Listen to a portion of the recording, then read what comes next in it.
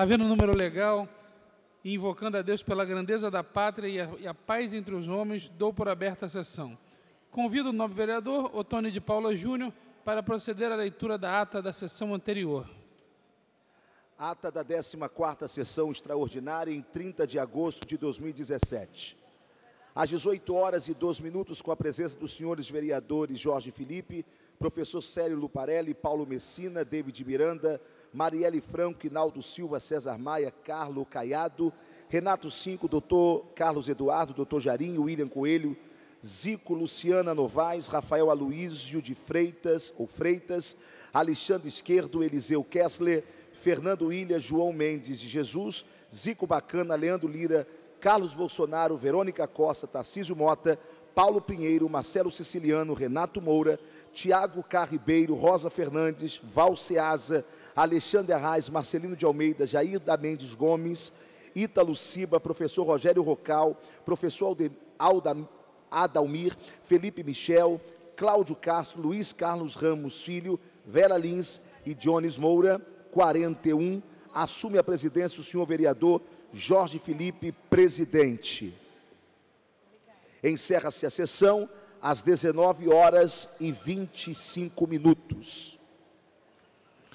Aprovada a ata, passa-se ao grande expediente.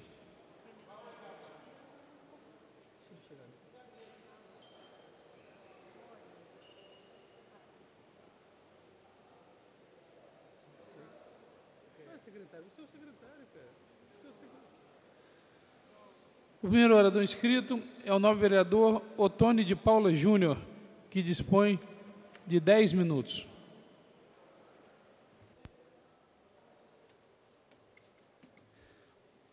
Excelentíssimo senhor presidente, vereador Cláudio Castro, minha estima, meu carinho, ao meu colega de partido e amigo. Saudar os senhores vereadores que aqui estão, saudar os amigos dessa casa, servidores públicos e os amigos que nos assistem nesse momento pela TV Câmara. Senhor presidente, no Brasil, a cor da pele determina as chances de uma pessoa chegar ou não chegar à universidade.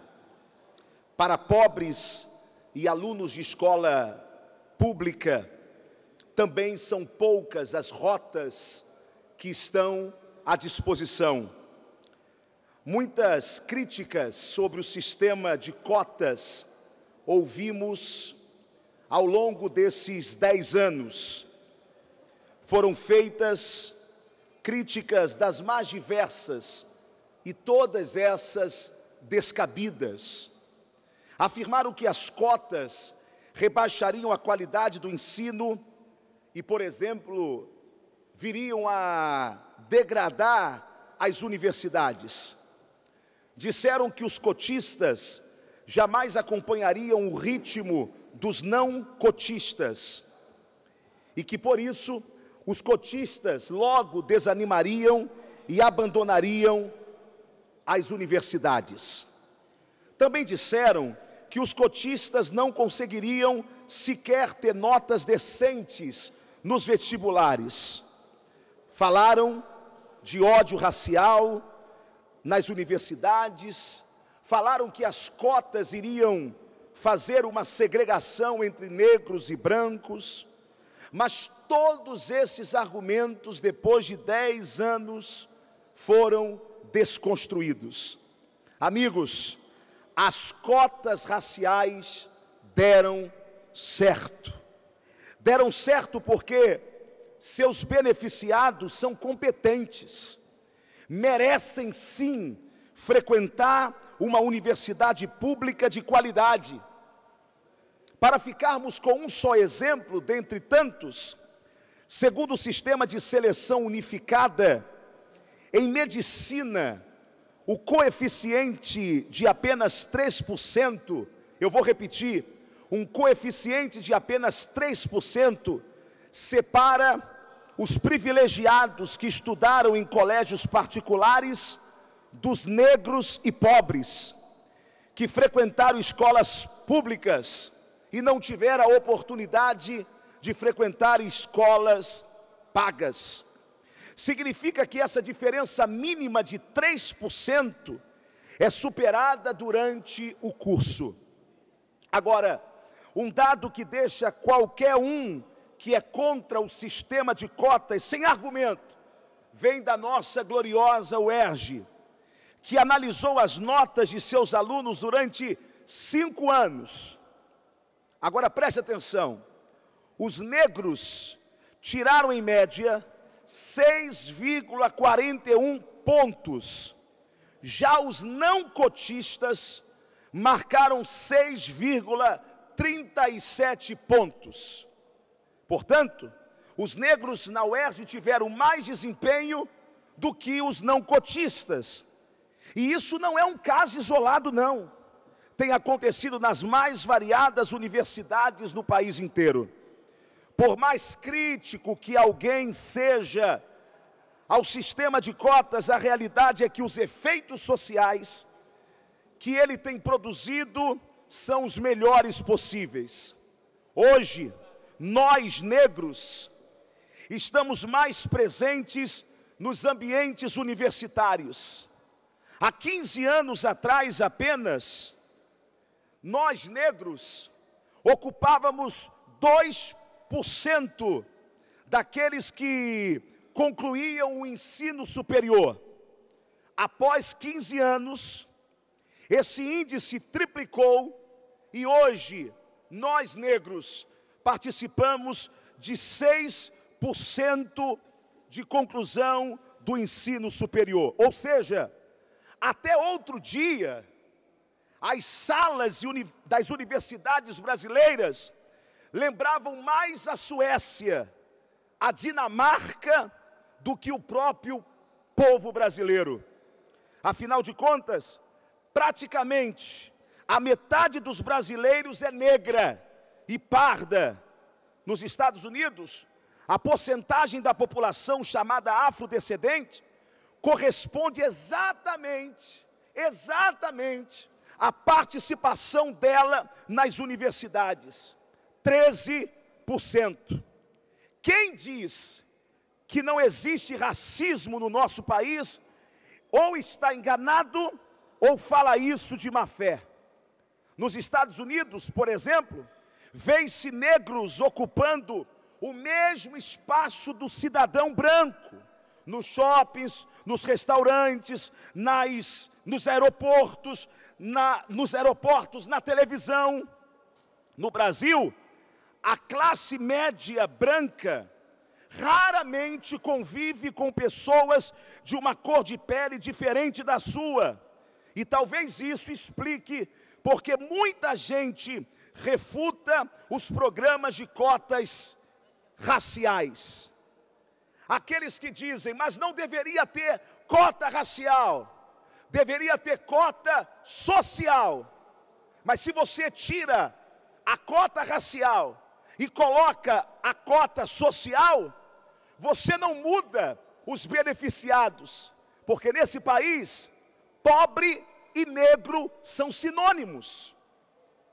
No fundo, o que muitos que afirmam não serem racistas, mas o são na sua alma, temem, é que os negros, dos quais eu faço parte, ocupem o seu lugar ou o lugar de seus filhos na universidade. Não estou falando de brancos, estou falando de racistas. Não há outra palavra para expressar isso, esse medo da ascensão do negro senão racismo. Em um país tão desigual quanto o Brasil, falar em meritocracia não faz sentido. Com as cotas, não é o mérito que se deve discutir, mas sim a questão da oportunidade. Sou negro, descendo de negros, meu avô Antônio de Paula foi filho de a última geração de escravos, o que restou de escravos nesse país. Portanto, trazer a essa tribuna dados do sucesso das cotas raciais nesse país me orgulha e me deixa feliz e contemplado. Viva o negro, viva o branco, viva o povo brasileiro, que é feliz pela miscigenação e quer que esse país seja igual para brancos e para negros. Obrigado, senhor presidente. Próximo orador inscrito é o senhor vereador David Miranda, que dispõe de 10 minutos. Boa tarde a todos e todas nessa casa. É, eu venho essa tribuna hoje para falar diretamente num diálogo com o vereador Tony de Paula. É, fico muito feliz com a fala dele que me procedeu aqui falando sobre a luta dos negros é, na nossa sociedade. É uma luta justa, digna e que tem muito ainda para percorrer dentro da nossa sociedade. Sendo que, ao mesmo tempo que o vereador Otone consegue ver que a luta dos negros é uma luta digna, justa, ele não consegue ver que a luta dos LGBTs também é uma luta digna e justa. Mais do que isso, a luta das mulheres na nossa sociedade também. Ontem, o vereador Otone fez uma postagem nas suas redes sociais, onde ele chamava a cantora, a artista brasileira, Anitta, de vagabunda de quinta categoria, comparando ela na sua postagem se ela era uma, garo ela era uma garota de programa.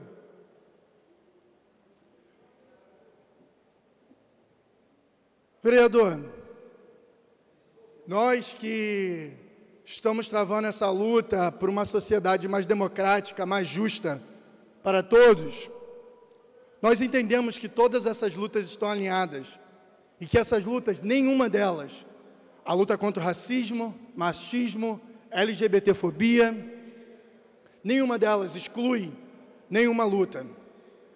E o Senhor não tem, não tem, o Senhor não pode e nenhum homem pode falar como uma mulher tem que se portar na sociedade. As mulheres vão portar na sociedade a forma que elas quiserem. Ela vai fazer um show da forma que ela quiser fazer aquele show. A Anitta, ela representa uma coisa que você fez a postagem ali. Aquela, aquela linguagem que você está fazendo ali, você não está fazendo só com a Anitta. Você está fazendo com todas as mulheres. Você está subjugando a mulher dentro da sociedade. Você é um parlamentar da cidade do Rio de Janeiro. Você tem uma responsabilidade social. Isso aqui e as suas redes sociais não são um jogo onde você pode chegar e utilizar aquele espaço e utilizar esse espaço aqui para escolher uma luta democrática e uma outra não. Todas as lutas são democráticas. A violência simbólica do que foi expressado por você nas suas redes sociais, a violência contra a mulher você sabe que não é só a física, né? Ela tem de todas as camadas. Uma delas é a verbal. O que você fez ontem foi uma violência contra a Anitta e contra todas as mulheres. Esse é um momento muito complicado quando a gente tem a voz e a responsabilidade dentro da cidade do Rio de Janeiro, como parlamentares, de ter diálogos importantes dentro dessa casa, e a gente utiliza isso aqui como palanque. Utilizar isso aqui como palanque não foi para que eu vim aqui. Eu vejo muitos outros vereadores tentando utilizar isso aqui como palanque. Eu vim aqui e eu entrei para a política para lutar pela população da cidade do Rio de Janeiro. E é o que eu estou fazendo aqui. As mulheres, elas devem ser livres para fazer o que elas quiserem da vida. Usar que tipo de roupa, se portar de qualquer forma que elas quiserem estar na sociedade. A luta do feminismo na nossa sociedade é super justa, assim como a luta do racismo. A luta dos LGBTs, todas as lutas são dignas. Assim como o senhor falou aqui, pronunciou, fico muito feliz como homem negro que teve essa fala antes, me antecedendo aqui. Sendo que o senhor tem que ter uma responsabilidade com tudo que o senhor fala. E ontem eu não quis ligar para ela para poder falar com ela sobre essa postagem, que eu achei que ela nem merecia dar mais esse palanque. Eu falei, não, eu mesmo vou lá e eu falo sobre essa situação. Eu mesmo vou conversar com o vereador Tony sobre essa situação. Senhor Antônio. Papelão.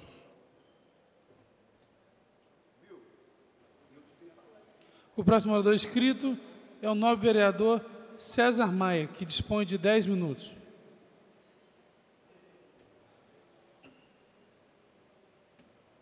Senhor presidente, senhoras e senhores vereadores, presidente, dois assuntos da maior gravidade de natureza municipal.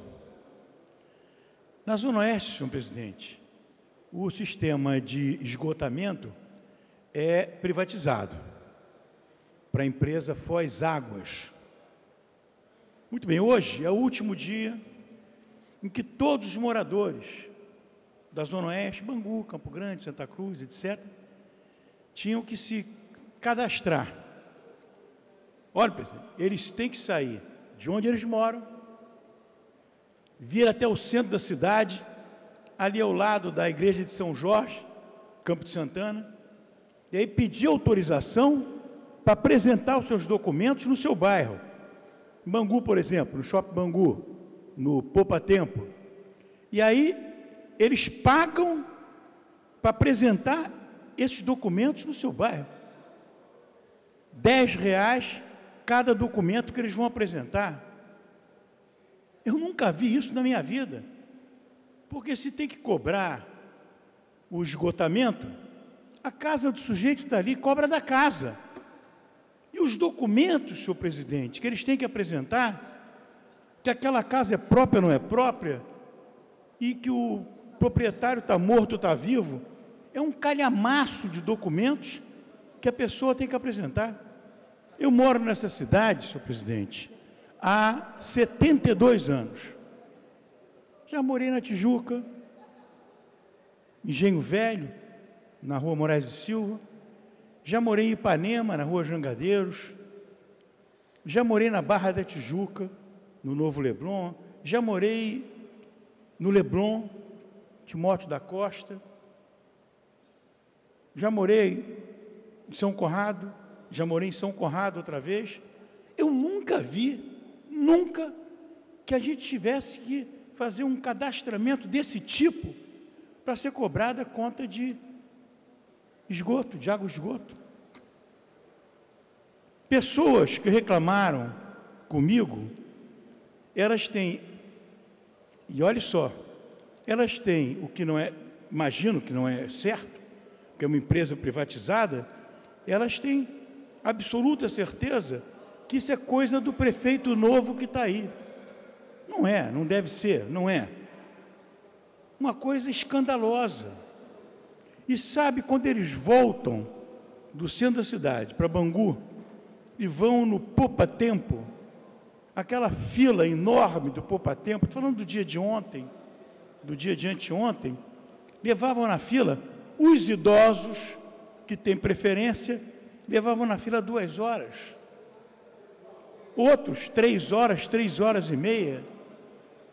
É inacreditável, inacreditável que possa, em algum lugar do mundo, uma empresa de saneamento privatizada fazer um cadastramento através de obrigações ao próprio imóvel, quantidade de documentos que pedem. Duvido que isso poderia, ter, poderia acontecer num bairro de classe média, reagiriam, que ia para o jornal. Eu não vi nenhuma nota no jornal, em nenhum jornal, a respeito disso. Uma barbaridade. Segunda questão, senhor presidente é um assunto extremamente grave. A maneira mais grosseira, vamos dizer, de se reduzir despesa do setor público ou de qualquer empresa privada, é você negar recursos e deixar que aquele órgão ou aquela empresa se vire para ver até onde vai a redução de despesa. Ou seja, é esticar a corda. Ontem aqui, o vereador Paulo Pinheiro comentava sobre um fato dessa natureza na área de saúde. Muito bem. As secretarias de Educação e de Saúde pararam de pagar a Conlurb os serviços de limpeza. O que fará a Conlurb? Vai continuar sem receber? E a secretária de Fazenda diz para a Conlurb que eles têm que reduzir despesas porque o limite de empenho deles termina em outubro. Diz a mesma coisa para a área de educação. Diz a mesma coisa para a área de saúde. Essa semana me procuraram e perguntaram, para a Conlurb, né? E perguntaram, o que, que a gente faz numa situação dessa? Eu disse, olha, para de prestar o serviço de saúde e educação. A obrigação de vocês é preservar a integridade da empresa, uma empresa que é uma referência, não apenas para o Rio de Janeiro, para o Brasil todo. Daqui a pouco vamos privatizar com o LURB, porque não prestou os serviços adequadamente. O Porto, maravilha, não paga com LURB. Secretaria de Educação não paga com LURB. Secretaria de Saúde não paga com LURB. O que, que a Conlub tem que fazer?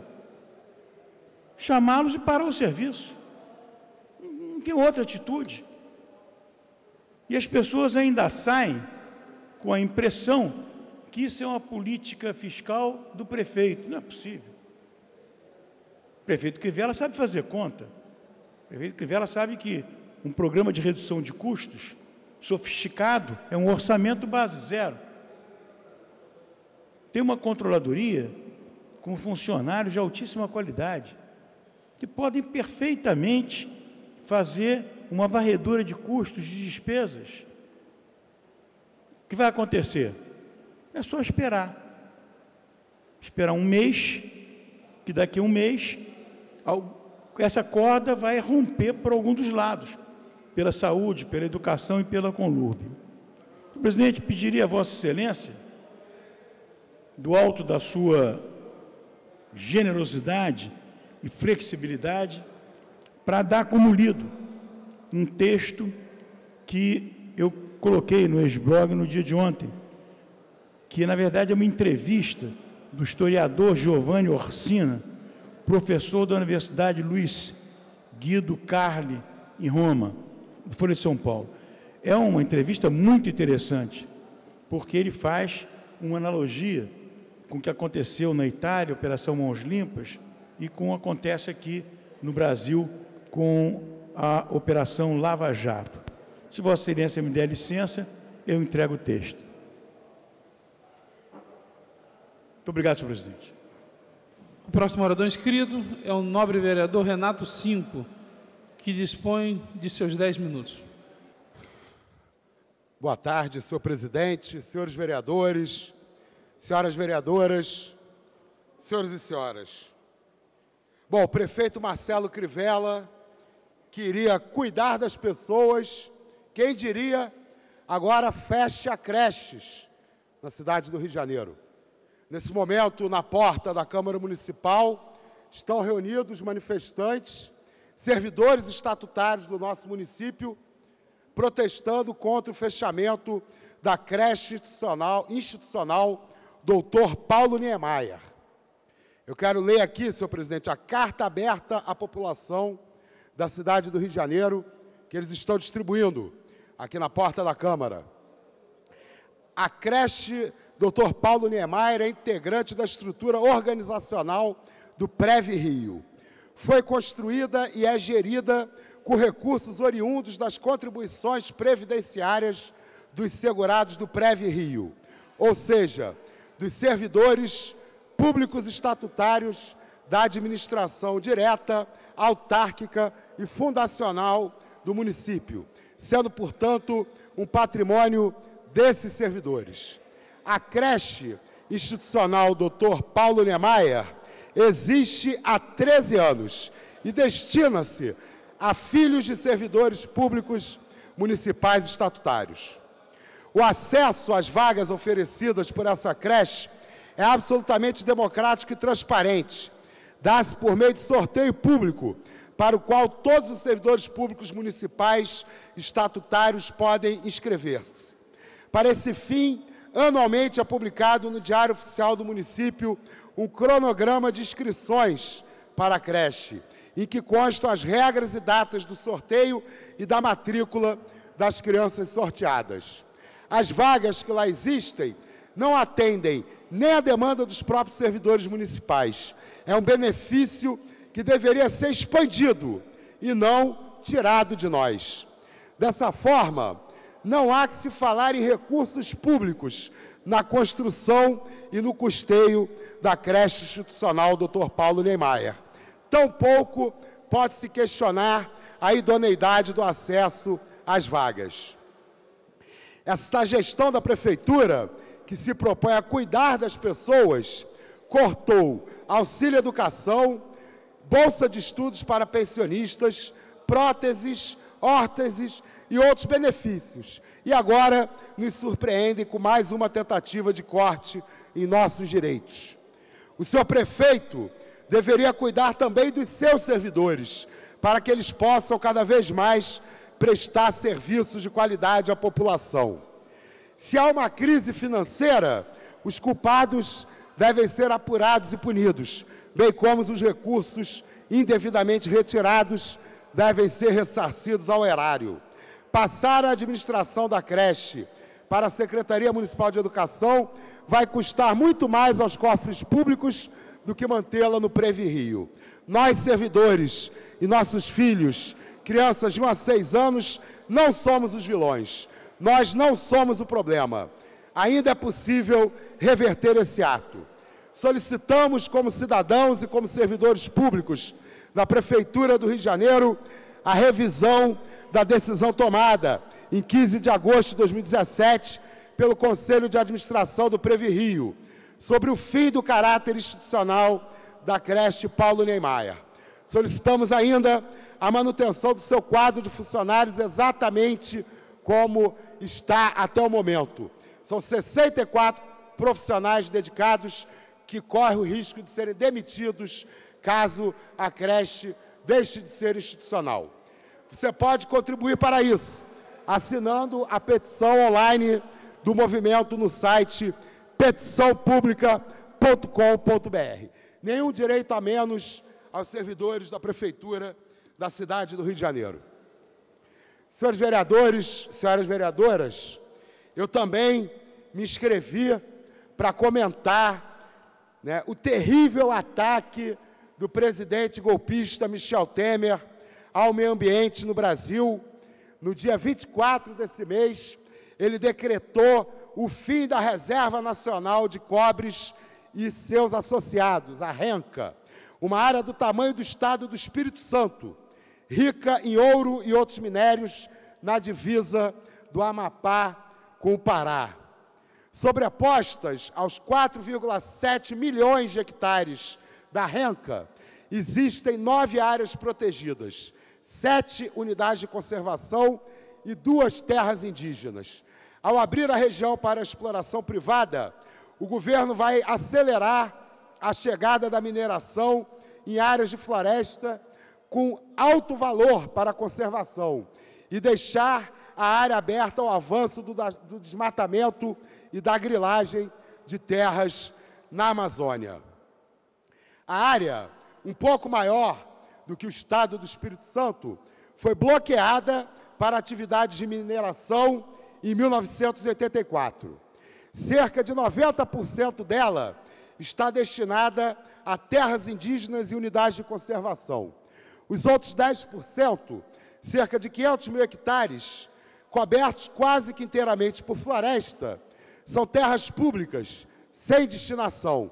Portanto, ficarão à mercê das indústrias de mineração e garimpo e também de grileiros, agora beneficiados pela lei da grilagem. Além desses 10%, há ainda um milhão de hectares dentro da floresta estadual do Paru, que não possui proteção integral e que também podem ser alvo da exploração mineral. A medida deve acelerar a chegada de infraestrutura e de pessoas a áreas de floresta nativa para as atividades de mineração, reproduzindo na região a mesma falta de governança que permite o avanço do desmatamento e da grilagem de terras na Amazônia. Um governo que corre para diminuir a proteção das florestas e flexibilizar o financiamento não irá garantir atividades de, que as atividades de mineração sejam desenvolvidas respeitando a legislação ambiental. Aliás, acho que seria absolutamente inédito não é, uma área de mineração respeitar a legislação ambiental. O decreto do governo não altera as áreas protegidas, porque atividades de mineração são proibidas por lei em unidades de conservação classificadas como de proteção integral. Porém, dentro do atual contexto político de flexibilização das leis, todo cuidado é pouco. A exemplo da Floresta Nacional do Jamanchim, no Pará, é possível que venham por aí mais propostas de mudança de categoria de determinadas áreas, visando a diminuição da, prote da proteção ou redução de unidades de conservação na região colocando em risco áreas como o Parque Nacional do Tumucumaque, maior unidade de conservação de floresta tropical do mundo. Impressiona também o fato dessa medida extrema ter sido tomada sem nenhum diálogo com a população local, que sofrerá impactos diretos da medida, e com a sociedade como um todo, demonstrando que o atual governo é ágil no gatilho da motosserra, mas inábil ou pouco interessado em dar ouvidos à população e praticar a democracia. Olha, eu quero ressaltar que, nesse ponto, eu acho que a, a assessoria que preparou o meu discurso foi muito branda. Né? Porque, na verdade, não é simplesmente falta de interesse ou não escutar os, os moradores locais. O que o, o, governo, o que o Michel Temer fez foi vender a Amazônia para barrar o seu processo de cassação. Foi simples o que aconteceu. O agronegócio, que tem uma agenda terrível para o nosso país, a mineração, que tem uma agenda terrível para o nosso país, estão comandando esse governo.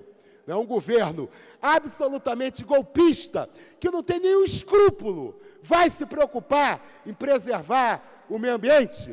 O presidente Michel Temer não está nem aí para as próximas gerações. Né? O presidente Michel Temer, o PMDB, eles querem é continuar no governo, nos governos, para continuarem a encher os bolsos de dinheiro.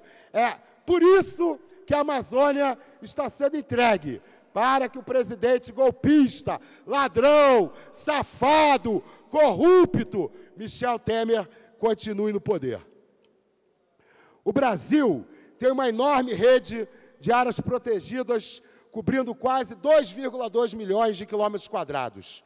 Essa rede protege biomas com uma enorme biodiversidade e presta riquíssimos serviços para os ecossistemas globais. Um dos motivos que tornou o Brasil um líder ambiental com papel de destaque em fóruns internacionais como as ocorrências climáticas da ONU. Nos últimos anos, pressões de setores conservadores têm causado mudanças profundas na legislação ambiental e de direitos humanos no país. Áreas protegidas estão sendo reduzidas, demarcação de terras indígenas paralisadas e mudanças radicais na regularização fundiária vêm sendo feitas para legalizar a grilagem de terras públicas. Esse quadro caótico do meio ambiente é o pano de fundo para a sustentação do governo mais impopular dos últimos tempos. Para encerrar, senhora presidente, que meu tempo já se esgotou, como eu estou falando de meio ambiente, eu não posso registrar aqui né, a nossa perplexidade com essa grande inundação que vem tomando conta né, do Texas, com a quarta maior cidade dos Estados Unidos, Houston, sendo duramente atingidas. Eu não sei se os colegas, se a população percebeu, mas em geral, quando nós vemos notícias sobre chuvas, os números vêm em milímetros. 50 milímetros de chuva, 130 milímetros de chuva. As notícias sobre o Texas falam em centímetros de chuva, cento e tantos centímetros de chuva né, por centímetro quadrado. Em algumas regiões, choveu mais de um metro, mais de um metro. Quer dizer, o presidente Donald Trump, ele pode falar à vontade né, que o aquecimento global é uma invenção dos chineses para atrapalhar o desenvolvimento da economia dos Estados Unidos. Mas a natureza, ela está demonstrando o seu desequilíbrio. Os ambientalistas e cientistas que tratam das mudanças climáticas falam justamente que uma das consequências das mudanças climáticas é justamente o aumento das estiagens e o aumento das chuvas quando elas chegam. Agora, é impressionante também que haja muita repercussão em torno da enchente no Texas, mas que não se fale, por exemplo, que Serra Leoa, em Bangladesh, no Nepal e na Índia, também estão acontecendo nesse momento eventos climáticos extremos provocados pelo aquecimento global e que provocaram muito mais mortes do que nos Estados Unidos. Né? A gente sabe que a injustiça socioambiental é uma das características do capitalismo. E essa injustiça socioambiental, ela também aparece quando o desastre ambiental nos Estados Unidos tem um peso na mídia internacional e o desastre ambiental na Índia, Bangladesh, no Nepal, em Serra Leoa, é praticamente ignorado pela mídia. Nós precisamos debater o aquecimento global, precisamos de ações concretas para preservar o meio ambiente. Nós não precisamos é do presidente Michel Temer acabando com a área de proteção na Amazônia, né? não precisamos da presidente Dilma sancionando o Código Florestal, né? reduzindo as áreas de proteção. Nós precisamos proteger o meio ambiente, porque, na verdade, a nossa sociedade, o nosso modo de vida está realmente ameaçado. O próximo orador inscrito é o nobre vereador Leonel Brizola, que dispõe de 10 minutos. Senhor presidente, senhoras e senhores vereadores e vereadoras, hoje completa exatamente um ano do vexatório golpe jurídico parlamentar sob a presidenta Dilma Rousseff, na qual tenho profunda admiração pelo seu passado histórico de luta e a perseverança na luta de um país mais justo. Aquilo, senhor presidente, senhores vereadores, que denunciamos desde o primeiro momento, inclusive aqui desta tribuna, que denunciamos aqui desde o primeiro momento, e é justamente desse movimento que se juntou para apear uma presidenta eleita pelo voto direto, democrático do povo brasileiro.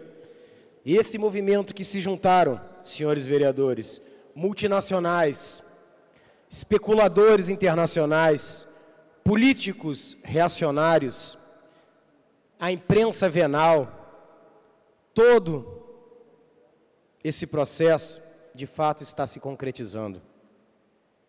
As manifestações de rua pedindo a saída da presidenta Dilma Rousseff nunca teve como objetivo, senhores vereadores, o combate à corrupção.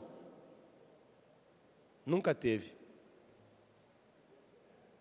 Porque o que estamos vendo aí é um escárnio. Um escárnio. A mídia golpista fez muito bem o trabalho sujo de criar um clima um clima de uma espécie de terra arrasada. Inclusive dando flashes ao vivo das pessoas, convocando as pessoas para irem às ruas protestarem e pedirem a saída de uma presidenta eleita pelo voto democrático e que, pasmem, não estava sendo acusada de corrupção.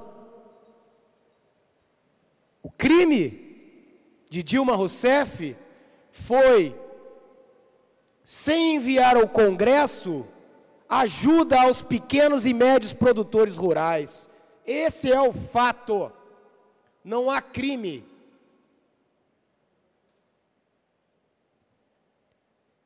Eles ganharam a opinião pública foi contaminada. Em todos os programas, né?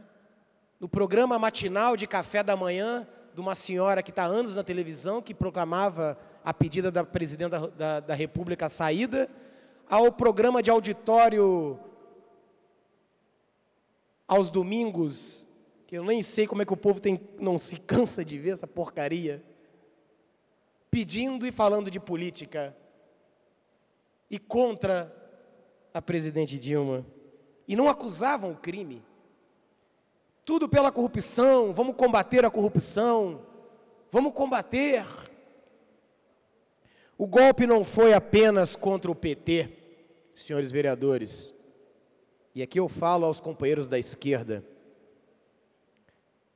O golpe é de fato para destruir toda a esquerda no país, não só no Brasil, mas como na América Latina como um todo. Esse é o projeto em curso, uma nova recolonização da América Latina pelos Estados Unidos, isso é fato. Busquemos agora o que aconteceu na Argentina.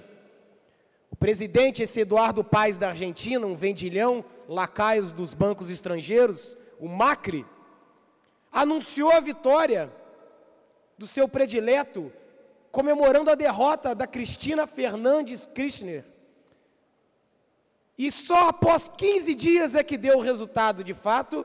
E qual foi o resultado?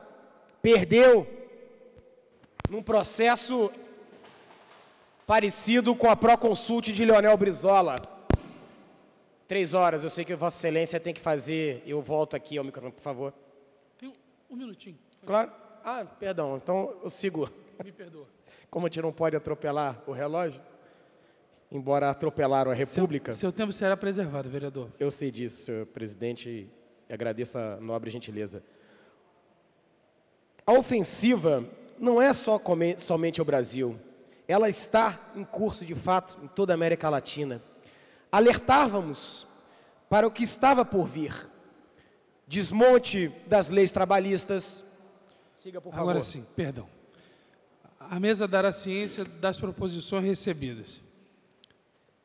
Requer a mesa regimental, a mesa diretora na forma regimental, a inclusão na pauta da ordem do dia semanal, em regime de urgência, o proje projeto de lei número 187 de 2017, que institui horário exclusivo para a visitação de pessoas com deficiências intelectuais e ou mentais em museus e casas de cultura do, do, do município, de autoria da vereadora Luciana Novaes. Requeiro à mesa diretora, na forma regimental, a inclusão em regime de urgência na ordem do dia semanal o projeto de lei número 1727 de 2016, que estabelece aos usuários dos transportes públicos do município do Rio de Janeiro o bilhete único diário. Senhor vereador Leonel Brizola.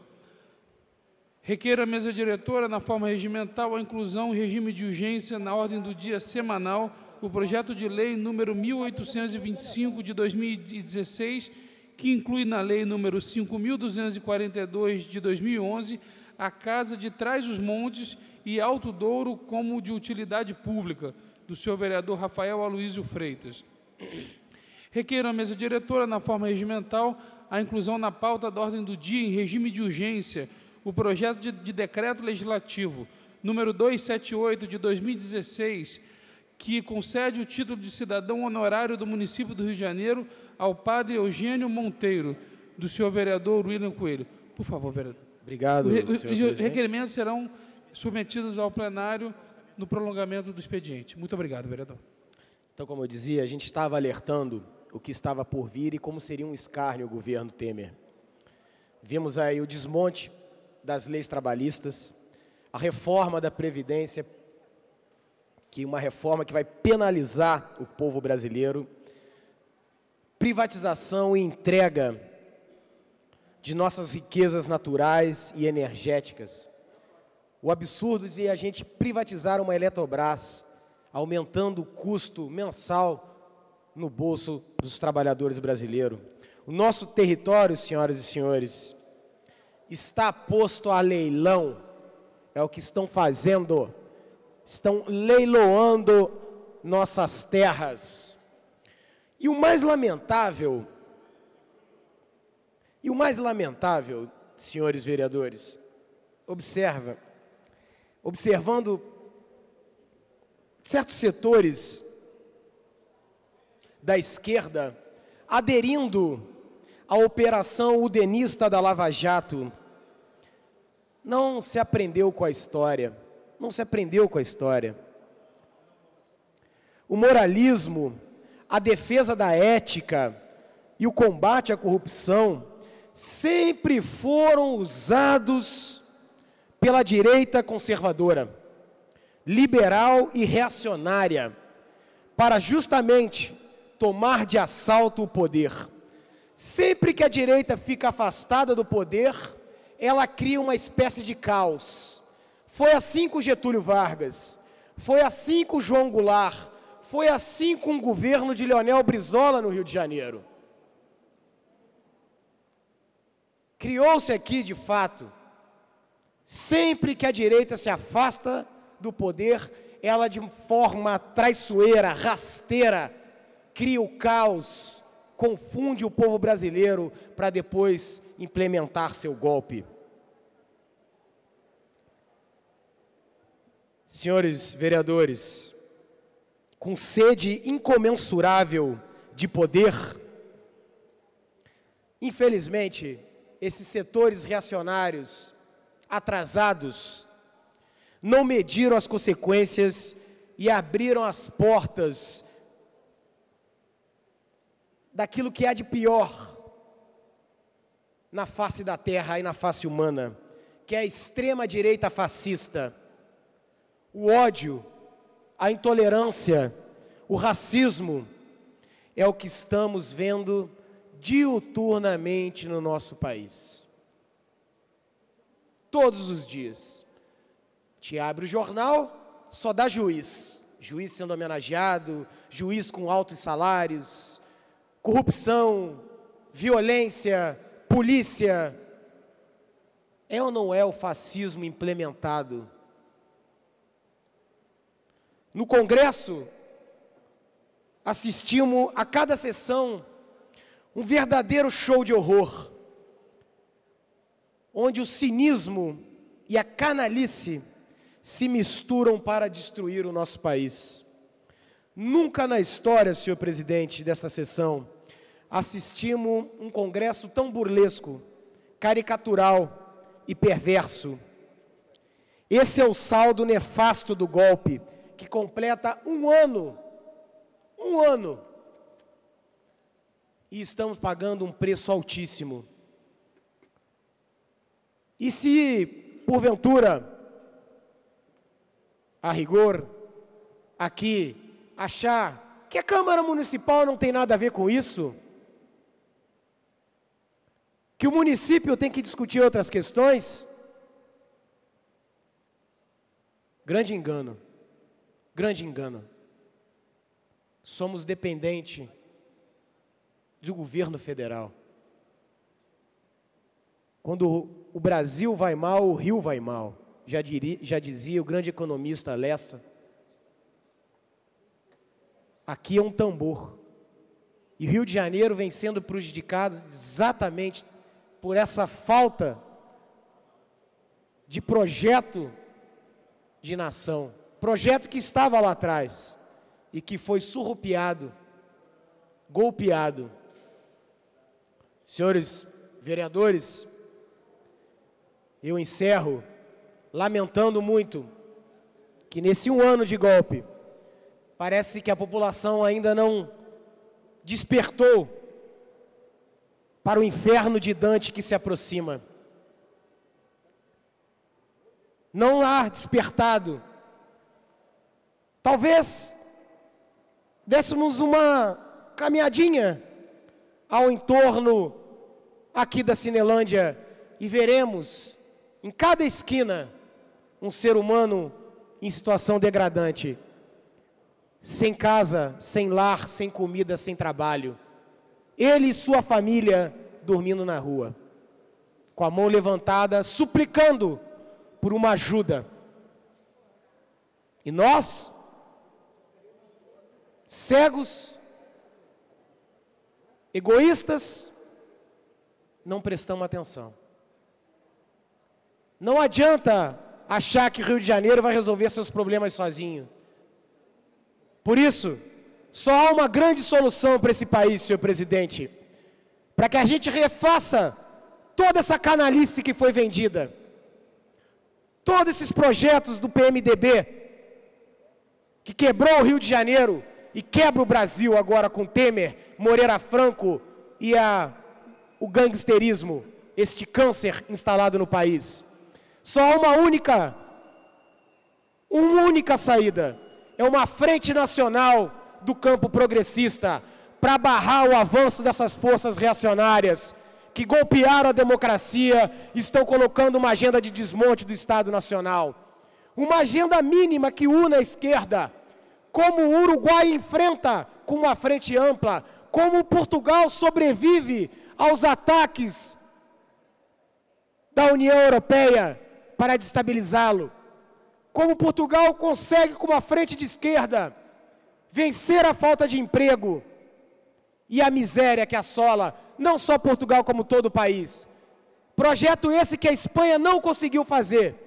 E hoje há gerações de jovens perdidas. Senhor presidente, há sim essa saída, mas é preciso que toda a esquerda faça autocrítica Esqueça seu retrovisor. Esqueça seu sectarismo e trabalhe pelo futuro do povo brasileiro. Viva Getúlio Vargas, viva João Goulart, viva Leonel Brizola, contra este golpe de Estado patrocinado pelos Estados Unidos, que está fazendo terra arrasada no país e na América Latina. Muito obrigado, senhor presidente. Muito obrigado, vereador. O próximo orador inscrito é o novo vereador Tony de Paula Júnior, que dispõe de 10 minutos.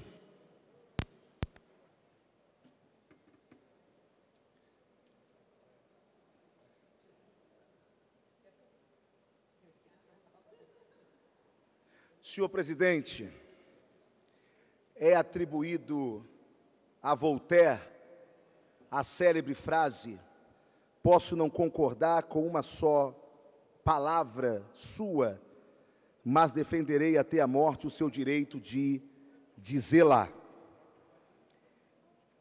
Com esta frase eu quero dizer que eu sempre serei um debatedor de ideias e nunca, nunca, no campo pessoal, seja com quem for, jamais. Quero também convidar aqueles que ouviram pronunciamentos interiores, anteriores a, a entrar no meu Facebook e ler a publicação citada, ou se já leram, releiam, por gentileza. Bem, o que me traz à tribuna pela segunda vez nesse dia, senhor presidente, e amigos que nos assistem pela TV Câmara, é o absurdo que aconteceu essa semana. O homem que ejaculou em uma mulher dentro de um ônibus na Avenida Paulista, para quem não sabe, um homem ejaculou em cima de uma passageira de ônibus em São Paulo. Isso foi nessa última terça-feira. Este homem foi solto pela justiça em uma audiência de custódia ontem. Ele havia passado cinco vezes pela polícia. Esse homem já passou cinco vezes pela polícia por suspeita de estupro, mas em nenhuma delas ele foi julgado. Segundo o Tribunal de Justiça de São Paulo, o juiz entendeu que não era necessária a manutenção da prisão, porque para o magistrado o crime se encaixa no artigo 61 da Lei de Contravenção Penal. Abre aspas, diz o artigo: importunar alguém em local público de modo ofensivo ao pudor, ou seja, ejacular em cima de uma mulher em transporte público, para o juiz, é apenas uma importunação. Na decisão, embora afirme que o ato praticado é grave, o destaque, o histórico desse tipo de comportamento do rapaz, o juiz diz que não vê constrangimento, tampouco violência. E por tal razão defende que o crime se amolda a uma contravenção e não a um estupro. É claro que eu não vou perguntar se quem recebesse a ejaculação desse bandido fosse a esposa ou a filha ou a mãe do juiz. Não, não vou perguntar isso. Se ele te, teria um outro comportamento ou mesmo comportamento. Um outro caso de violência contra a mulher aconteceu no Rio de Janeiro. A polícia está investigando um homem que manteve sua namorada em cárcere privado na zona norte do Rio, em Madureira. O nome desse bandido é Agostinho Henrique Mendonça, ele tem 27 anos.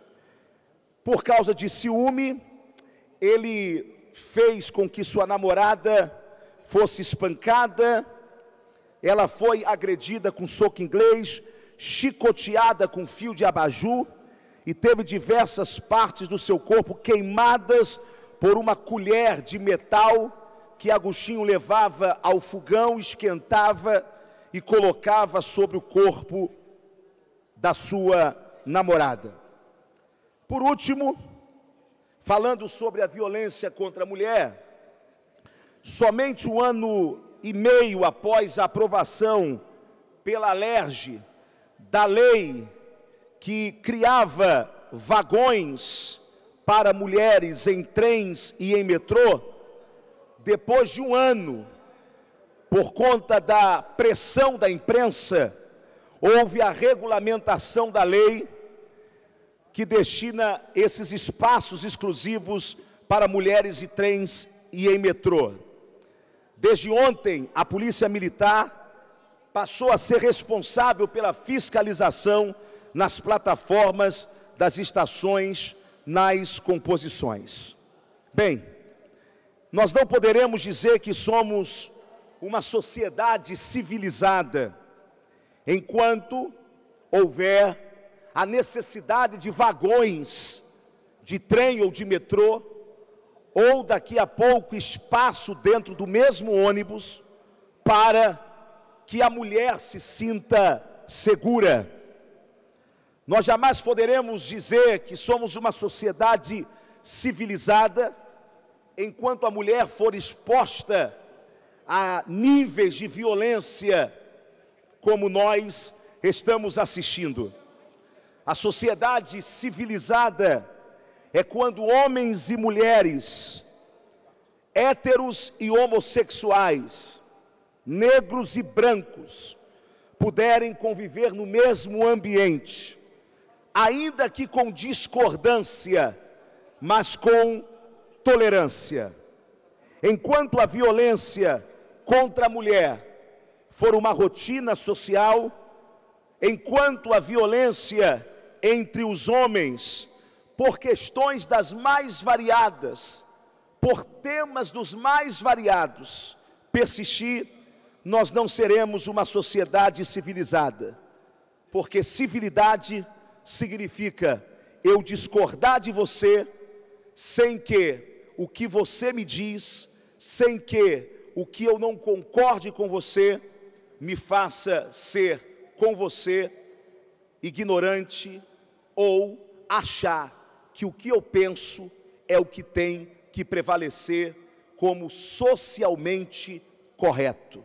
Ninguém, nem homens, nem mulheres, nem héteros, nem homossexuais, ninguém é paradigma da verdade. Em uma sociedade democrática e de direitos, os avanços sociais, eles são conquistados com o tempo, com a demora, mas nunca com a imposição. E não podemos achar que o fato de alguém não concordar com o que pensamos faz dessa pessoa fascista, ignorante, reacionário ou um monstro culpado por todo tipo de violência da sociedade. Muito obrigado, senhor presidente. Próximo orador inscrito é o senhor vereador Tarcísio Mota, que dispõe de 10 minutos.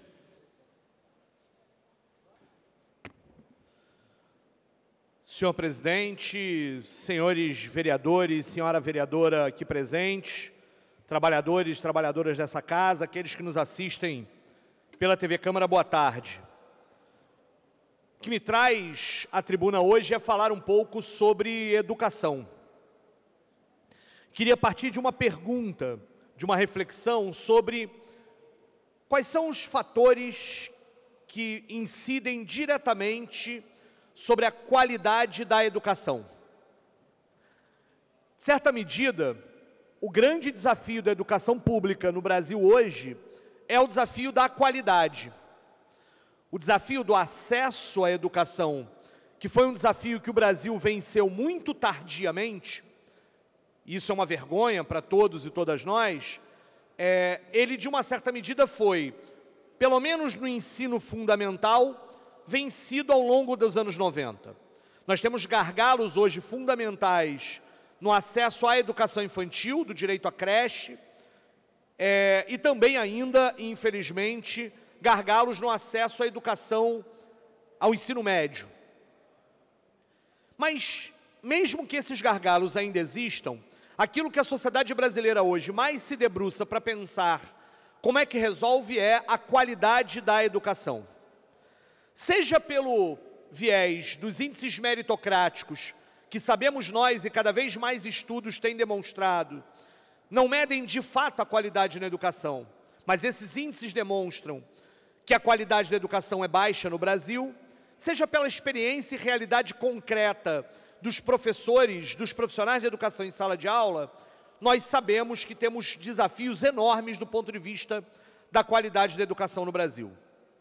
Mas há um fator, um fator fundamental na questão da qualidade da educação, que acho que é consenso entre nós, que tem a ver com o número de alunos em cada turma. É impossível para um professor desenvolver um processo de educação de qualidade com 45 alunos em sala de aula. É impraticável para um professor, para uma escola, oferecer educação de qualidade com salas de aula superlotadas. E este é um problema recorrente na história brasileira. Porque no momento em que se, ampliou as, se ampliaram as vagas para a educação pública, com o devido investimento não sendo feito, com investimento insuficiente, o que aconteceu foi que as salas começaram a ser apinhadas, superlotadas. E também é um problema porque, diante de qualquer sinal de crise financeira e orçamentária, os mais diferentes governos vêm com a solução mágica. Vamos diminuir turmas, diminuir a quantidade de turmas, para lotar algumas turmas e com isso economizar dinheiro, porque diminui a quantidade necessária de professores para atender um determinado número de alunos. Pois bem, senhoras e senhores, isso está acontecendo agora no nosso município, como atuação da atual Secretaria Municipal de Educação. Diante desse discurso da crise, que virou um principal ou talvez o único argumento a direcionar a política pública do governo Crivella, o secretário de Educação, a Secretaria Municipal de Educação, está autorizando que escolas peguem turmas com 27, 30 alunos, fechem essas turmas e espalhem esses 27, 30 alunos nas outras turmas, que já tem 30 alunos, já tem 35 alunos. Eu tenho aqui, inclusive, uma tabela em que várias escolas, isso está acontecendo. Escola Municipal André Vidal de Negreiros, em Santa Cruz, Escola Municipal Jornalista Carlos Castelo Branco, em Paciência, Escola Municipal Emiliano Galdino, em Paciência também, Escola Municipal Tatiana Chagas Memória, em Guaratiba, Escola Municipal Maestro Heitor Vila Lobos, em Santa Cruz, Deputado Ulisses Guimarães, em Sepetiba, Professora Mirtz Wenzel, em Guaratiba, várias escolas, especialmente vereador Rogério Rocal, que é da região, na Zona Oeste, exatamente onde nós temos uma deficiência ainda maior da lógica do ensino de qualidade. O que, que isso significa? Significa que os professores das turmas que estão ficando estão tendo que agora, agora, em agosto, quase setembro, mudar o seu planejamento, avaliar alunos que eles não acompanharam desde o início do ano, para conseguir garantir o um mínimo de qualidade na educação. E por sua vez, imaginem vocês, adolescentes que já não gostam muito da escola, que já não topam muito, que já não são muito seduzidos pelo ambiente escolar, infelizmente. No meio do caminho agora, tem que mudar de turma, encontrar outros professores, outros colegas, outro ambiente, uma sala mais superlotada. Não há educação de qualidade que resista a isso. Não há possibilidade de trabalho. E para quê? Para uma economia porca. Nós hoje no meu gabinete estamos mandando um requerimento de informação para saber qual é a economia esperada com a prefeitura que fecha turmas para diminuir o número de professores. Porque não é possível que tenha que se cortar aí. É um corte mais insidioso, mais obscuro. Porque quando a prefeitura decidiu cortar as equipes de saúde da família, isso, houve uma chiadeira e era fácil para todos nós entendermos que menos gente será atendida. Agora, isso parece não ser percebido pela maioria da população, mas nós não vamos deixar isso passar barato. Não é aí que tem que se cortar as despesas excessivas que a prefeitura pode ter em um lugar ou outro. Nós aqui já anunciamos coisas que podiam ter aumentado a receita da prefeitura, cortes que podiam ser feitos. Qual é o prejuízo pedagógico que essas crianças e essas escolas terão?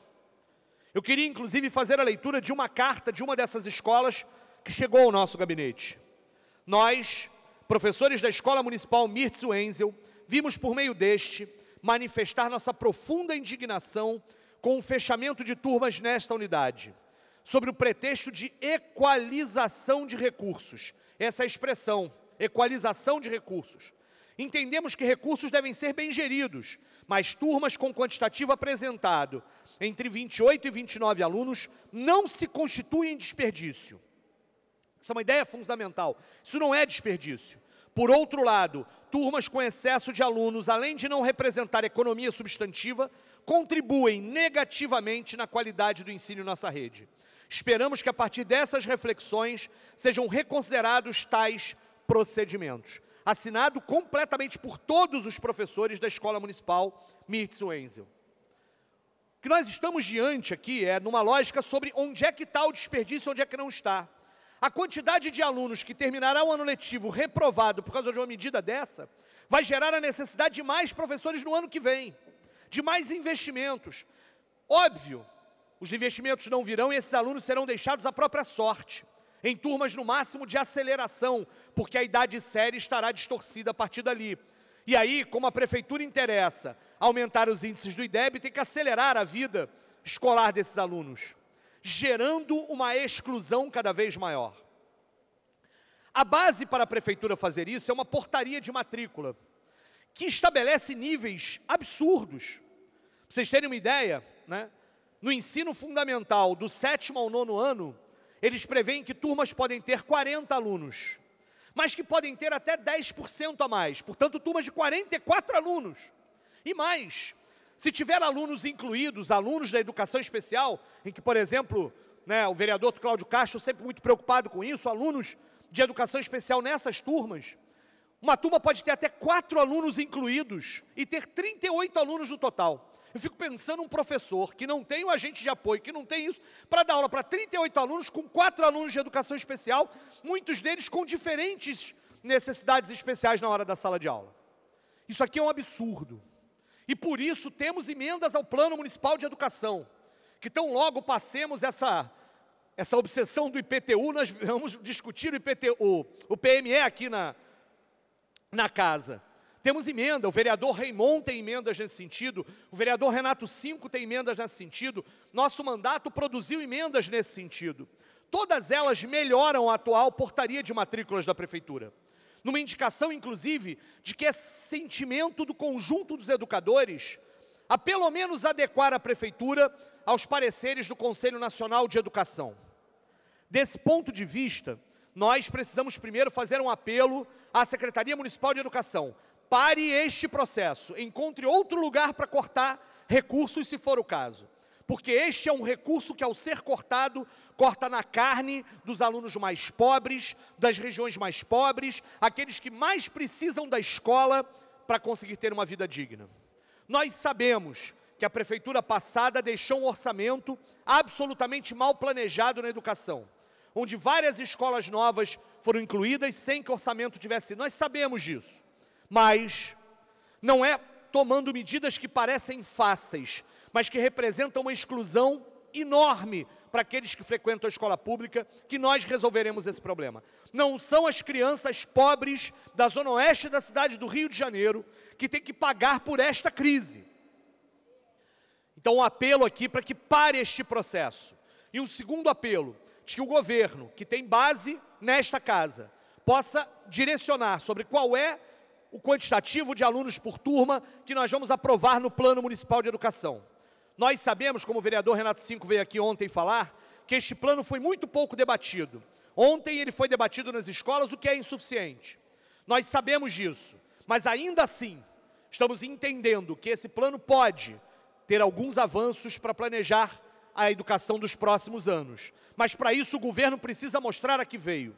Nós estaremos nessa disputa, mas nesse primeiro momento, em defesa das crianças, estamos solicitando que a SME pare o processo de junção de turmas, porque não é desperdício termos turmas de 30 alunos, 28, 29 alunos na rede municipal. Muito longe disso. É muitas vezes a única chance que essas crianças têm de conseguirem ter um mínimo um pouco mais de qualidade na educação. Com educação não se brinca. Muito obrigado, senhoras e senhores. O próximo orador inscrito é o novo vereador Fernando William, que dispõe de 10 minutos.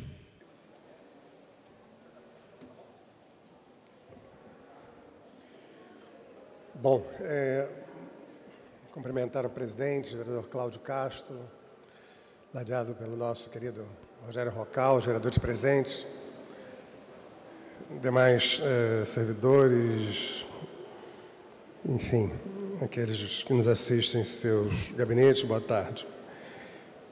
E, eu tenho vindo aqui praticamente todos os dias manifestar a minha enorme preocupação com relação à situação financeira da prefeitura.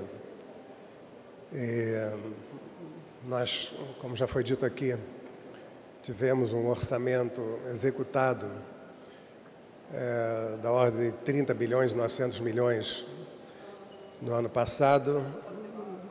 Aprovou-se um orçamento é, de forma precipitada, sem um estudo adequado, é, de 29 bilhões e 600 milhões para este ano.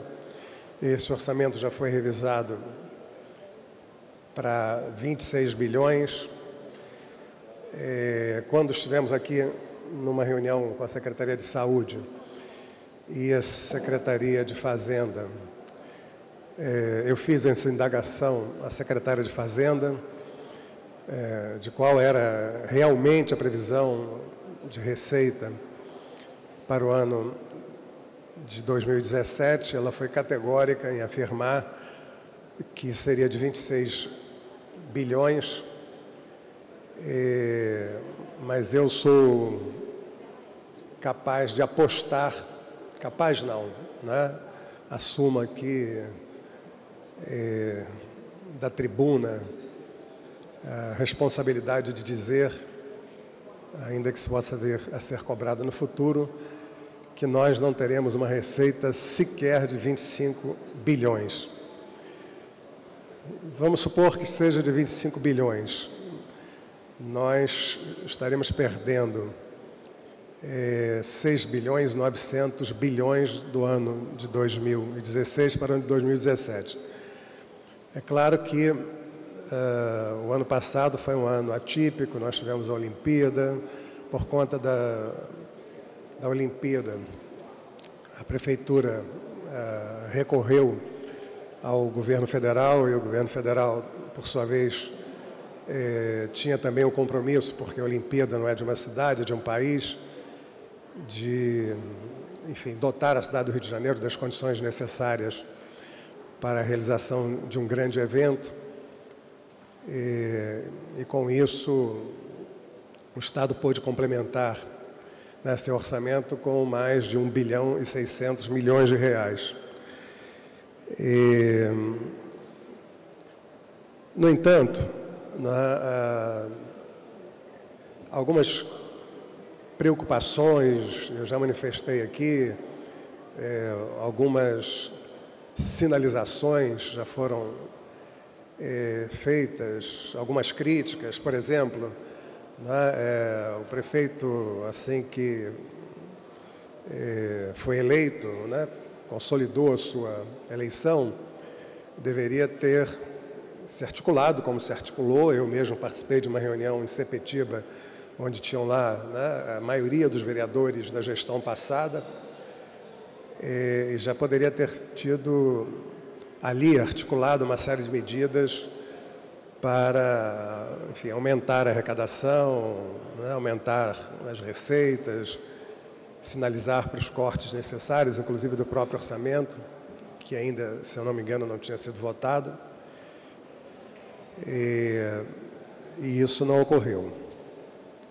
É, um outro erro grave que, a meu ver, foi cometido no início da gestão, provavelmente é, por desinformação do prefeito, certamente o prefeito não teria tomado essa decisão se soubesse a, a gravidade é, daquilo que estava assinando, é, de um bilhão 437 milhões de restos a pagar que foram deixados pelo governo passado, e o, o governo Crivella é, empenhou e liquidou 1 bilhão e 300 milhões.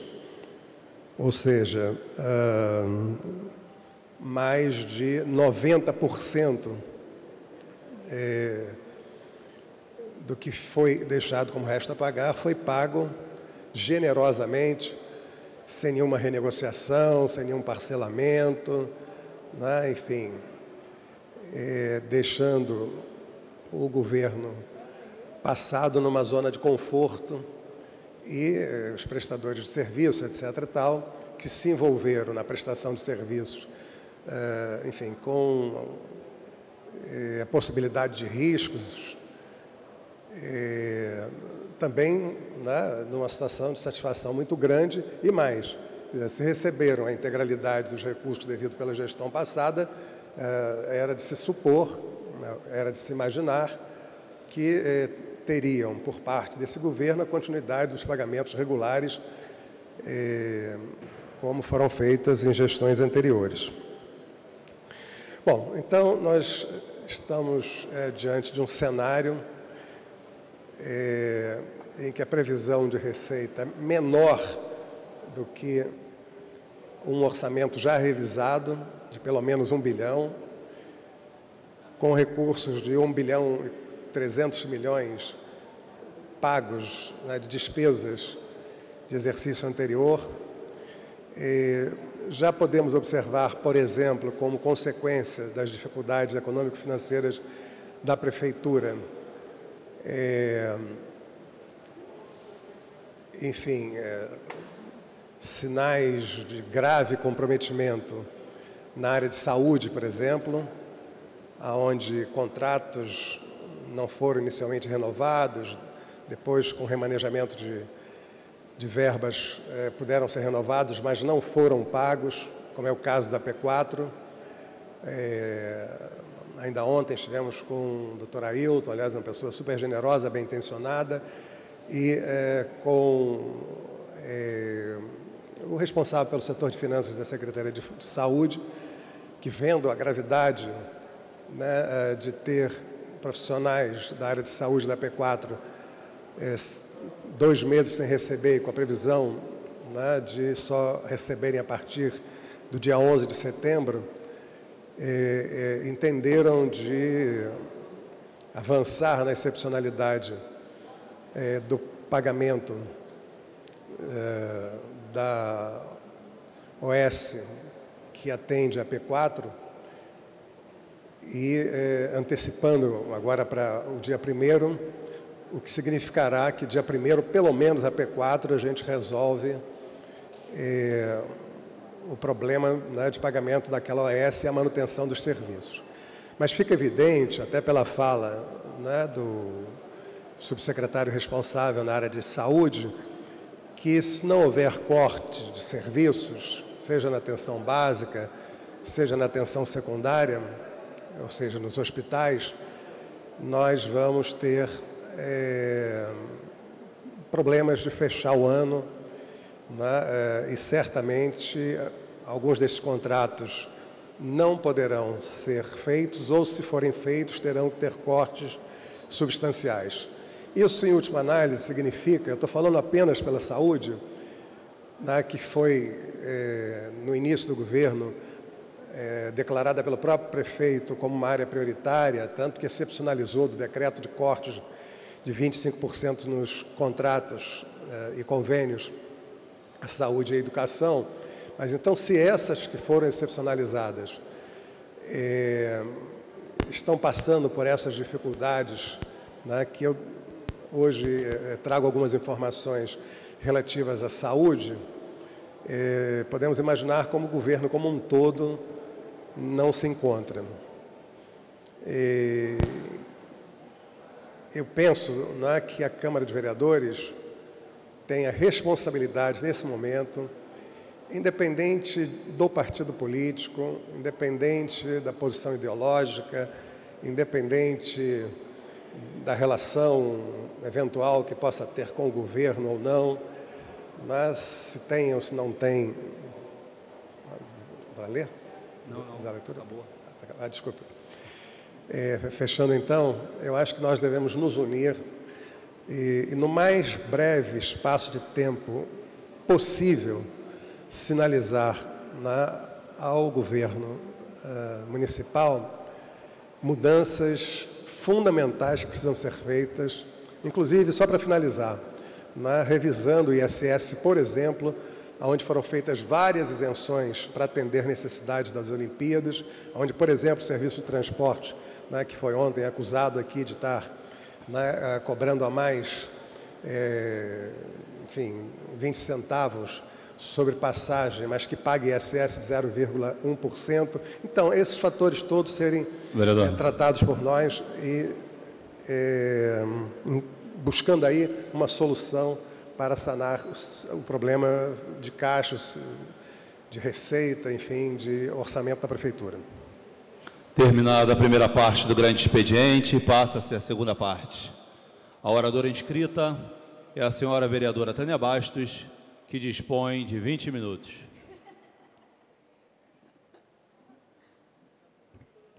Boa tarde, senhor presidente, senhoras e senhores, vereadores. Eu quero aqui, aproveitando a fala do vereador que me antecedeu, Fernando Ilha, e concordar com o seu discurso, com todas as suas palavras que foram ditas aqui nesta tribuna. E aproveitando o ensejo, senhor presidente, eu quero também contribuir um pouco com esse cenário que nós estamos vivendo na cidade, lembrando que aqui no Rio de Janeiro e assim como quase em todo o nosso país, a arrecadação de tributos sofreu uma queda e com isso a gente sabe muito bem que instituiu um novo cenário econômico, né?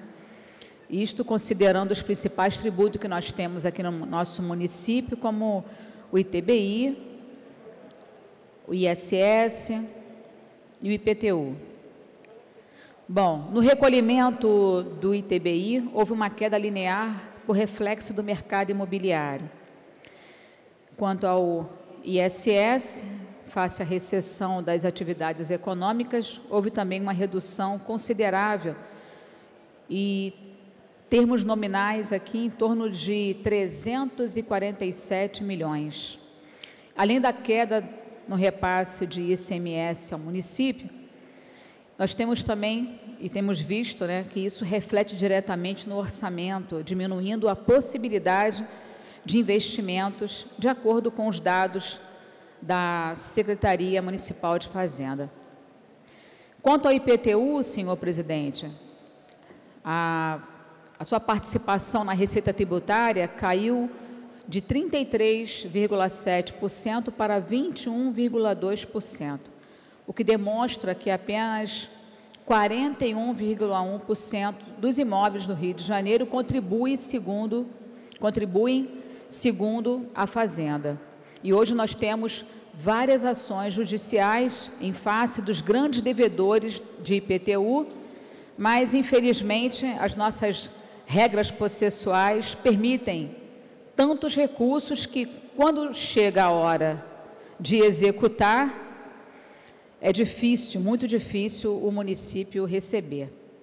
E é claro, claro que é difícil falarmos um pouco sobre essa revisão de tributos, mas a Câmara, junto com o Executivo, tem a árdua e coragem, tarefa de votar o projeto de lei número 268, 268 de 2017, de forma justa e responsável, para que o povo carioca tenha como maior resultado a organização financeira do município e a manutenção dos investimentos na educação, na saúde, é, infraestruturas, enfim, entre outros.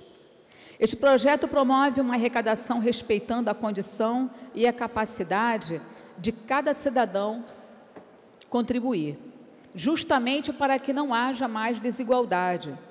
E o que eu quero aqui dizer, senhor presidente, é que as condições do cálculo do tributo demonstram que o executivo procurou respeitar o nosso contexto social e econômico e bem como a legislação atual. É importante ressaltar que o IPTU tem como base de cálculo a planta de valores dos imóveis. E aqui no Rio, a mesma há 20 anos, né, infelizmente, não houve é, nenhum reajuste. Né? E o prefeito propõe então a atualização desses valores e o que irá permitir uma maior participação da receita do IPTU no orçamento do município. O estudo base para a elaboração deste projeto levou em consideração os seguintes dados. Primeiro foi o município tem 1 milhão 932.413 inscritos, sendo que destes só 832.812 contribuem. Ou seja, atualmente, 56,9% não pagam IPTU. Menos de 50% dos contribuintes pagam. E com o novo projeto, que cada, cada, vez, cada 10 contribuintes, pelo menos 6 pagarão. Hoje nós temos a cada 10 contribuintes, apenas 3 pagam em termos proporcionais. E o segundo é que logo se conclui que hoje 1 milhão e 100 mil imóveis não pagam o IPTU. E o município deixa de arrecadar e investir nas políticas públicas. Por isso, aprovar esse projeto é fundamental para o futuro da população e a manutenção de suas necessidades, já que uma pequena parcela da sociedade carioca mantém todo o sistema funcionando. O prefeito Crivella e sua equipe, e sua equipe têm se empenhado na administração da cidade, pois desde o início tem procurado enxugar os gastos públicos, não desviando o seu olhar dos anseios da população. Com muito esforço, ele tem tentado cumprir o orçamento de 2017, pois as receitas previstas quanto ao recolhimento dos tributos só despencam, mas as despesas fixas permanecem. Um exemplo disso, senhor presidente, é com relação à saúde. Verificamos que o orçamento aprovado, ele não englobou a municipalização de alguns hospitais, bem como também as clínicas da família e equipes da saúde, o que gerou um déficit no orçamento de 2017 de aproximadamente 300 milhões. Outro dia, nós discutimos aqui o funcionamento das clínicas da família, onde o prefeito, para honrar os seus compromissos com a população, ele remanejou o dinheiro do orçamento para a manutenção dessas unidades. Então, hoje, nesta casa, como representante do povo, nós nos devemos nos posicionar e seguir um caminho para preservar os recursos e os investimentos. E isto não pode se repetir nos termos hoje desta responsabilidade. Inclusive, o prefeito Marcelo Crivella, em nota, tem esclarecido os motivos e a importância desse projeto. Ele tem mostrado à população a situação financeira que encontrou a prefeitura e as medidas necessárias para manter a saúde financeira do município, a fim de honrar com as suas obrigações. Assim, a presente proposta contempla maior equilíbrio e igualdade na arrecadação do IPTU, através de uma base de cálculo justa e isenção para os que precisam. Além disso, permitirá a extinção do programa Atualiza, que gerou no município uma cobrança excessiva aos contribuintes. Eu tenho aqui um exemplo, até inclusive de um amigo, onde a casa dele foi visitada por aquele drone, que o ano passado visitou várias residências, e esse amigo, ele pagava 400 reais de PTU. Até então, quando a empresa foi contratada pela prefeitura para prestar esse serviço, e lá fizeram todo o mapeamento, o que, que ocorreu? De 400 reais, esse senhor passou a pagar 14 mil reais. Então, a emenda do Atualiza é importantíssima para a nossa cidade para acabar de vez com esse retrocesso. Eu digo retrocesso porque poderíamos ter feito isso o ano passado. Poderíamos ter votado o projeto o ano passado. Mas o prefeito, na sua ânsia de querer arrecadar, fez de uma forma injusta. E hoje paga-se o preço. E hoje o novo prefeito, nessa gestão atual, tenta minimizar o impacto. Bom, depois de anos, esta casa teve a oportunidade de discutir com o corpo técnico da prefeitura esse projeto e todas as nossas emendas. Então, fica aqui também o meu elogio ao prefeito Crivella e sua equipe na forma democrática republicana também, respeitosa para com esta casa. É muito importante ressaltar isso, porque também na gestão anterior, eu duvido que um projeto como esse não passaria de apenas duas sessões. A primeira discussão, aprovação e no prazo regimental, novamente, sem que houvesse nenhuma emenda. E esse projeto acaba de receber ontem, recebeu ontem cerca de 102 emendas. Então, é importante aqui ressaltar essa forma respeitosa que o prefeito vem tratando nós, vereadores. E eu quero aqui também acrescentar, senhor presidente, que eu me coloco, obviamente, na condição de cidadã, porque eu também sou contribuinte.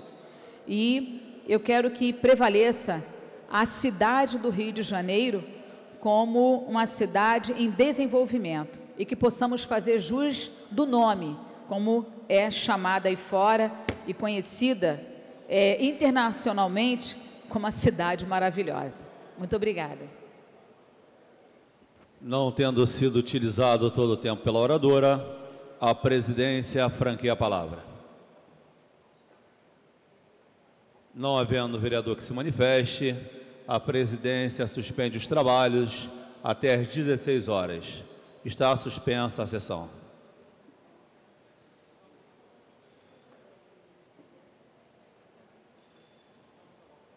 Está reaberta a sessão.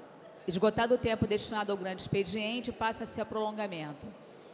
A mesa dará ciência das proposições recebidas.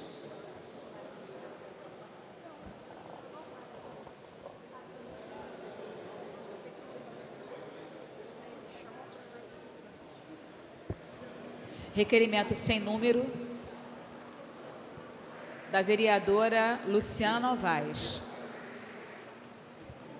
Requer a mesa diretora, na forma regimental, a inclusão na pauta da ordem do dia semanal, em regime de urgência, do projeto de lei número 187 de 2017, que institui, honorar, institui horário exclusivo para visitação de pessoas com deficiências intelectuais e ou mentais em museus e casas culturais do município. Os senhores vereadores que aprovam, permaneçam como estão. Aprovado. Requerimento sem número do vereador Leonel Brizola. Requeira a mesa diretora na forma regimental a inclusão em regime de urgência na ordem do dia semanal do projeto de lei número 1727 de 2016, que estabelece aos usuários dos transportes públicos do município do Rio de Janeiro o bilhete único diário. Os senhores vereadores que aprovam permaneçam como estão. Aprovado. Requerimento sem número do vereador Rafael Aloysio de Freitas. Requeiro a mesa diretora na forma regimental a inclusão em regime de urgência na ordem do dia semanal do projeto de lei número 1825 de 2016, que inclui na lei número 5242 de 2011 a Casa de Trás os Montes e Alto Douro como de utilidade pública. Os senhores vereadores que aprovam permaneçam como estão. Aprovado. Requerimento sem número do vereador William Coelho. Requeiro a mesa diretora na forma regimental a inclusão na pauta da ordem do dia, em regime de urgência, o projeto de decreto legislativo no número 278 de 2016, que concede o título de cidadão honorário do município do Rio de Janeiro ao padre Eugênio de Sena Monteiro. Os senhores vereadores que aprovam permaneçam como estão. Aprovado. Requerimento número 337 de 2017 do vereador Jair da Mendes Gomes. Requeiro a mesa diretora, na forma regimental, que seja constituída a comissão especial composta por três membros, com a finalidade de desenvolver e discutir propostas para a simplificação do licenciamento empresarial na cidade do Rio de Janeiro, com prazo de funcionamento até o término desta sessão legislativa. Os senhores vereadores que aprovam permaneçam como estão. Aprovado. Requerimento sem número do vereador professor Célio Luparelli.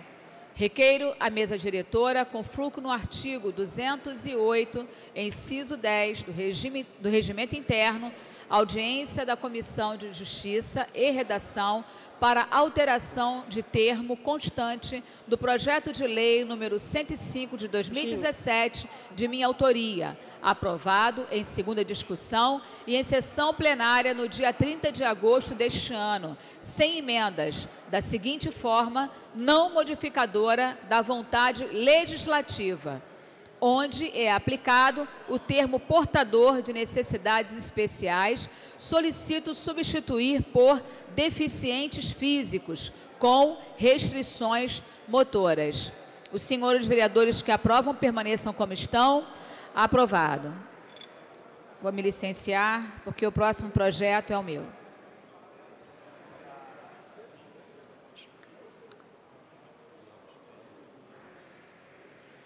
Requerimento de autoria da vereadora Tânia Bastos. Requer a mesa diretora, na forma regimental, a concessão do conjunto de medalha Pedro Ernesto a Jorge Braz de Oliveira. Senhores vereadores que aprovam, permaneçam como estão. Aprovado.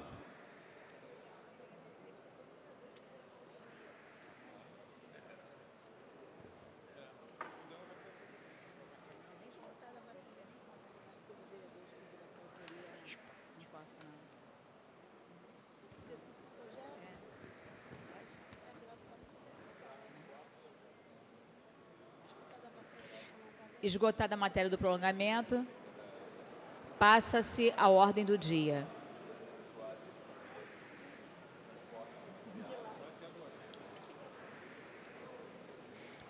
Em tramitação especial, em regime de urgência, em primeira discussão, o projeto requer quórum de maioria simples.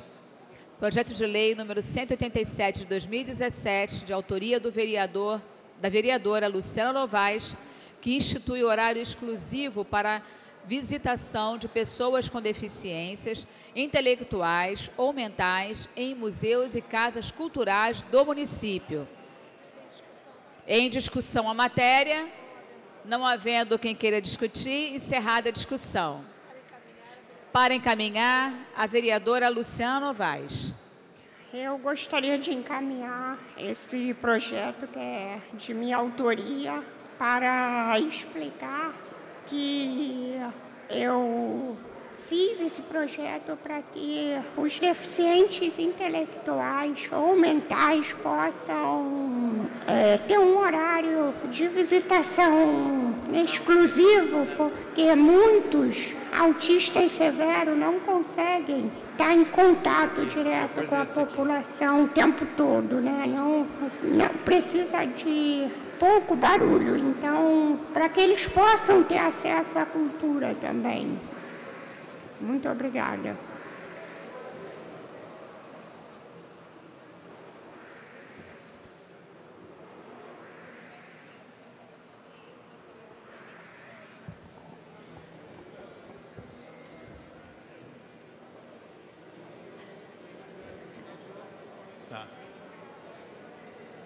Em, é, desculpa.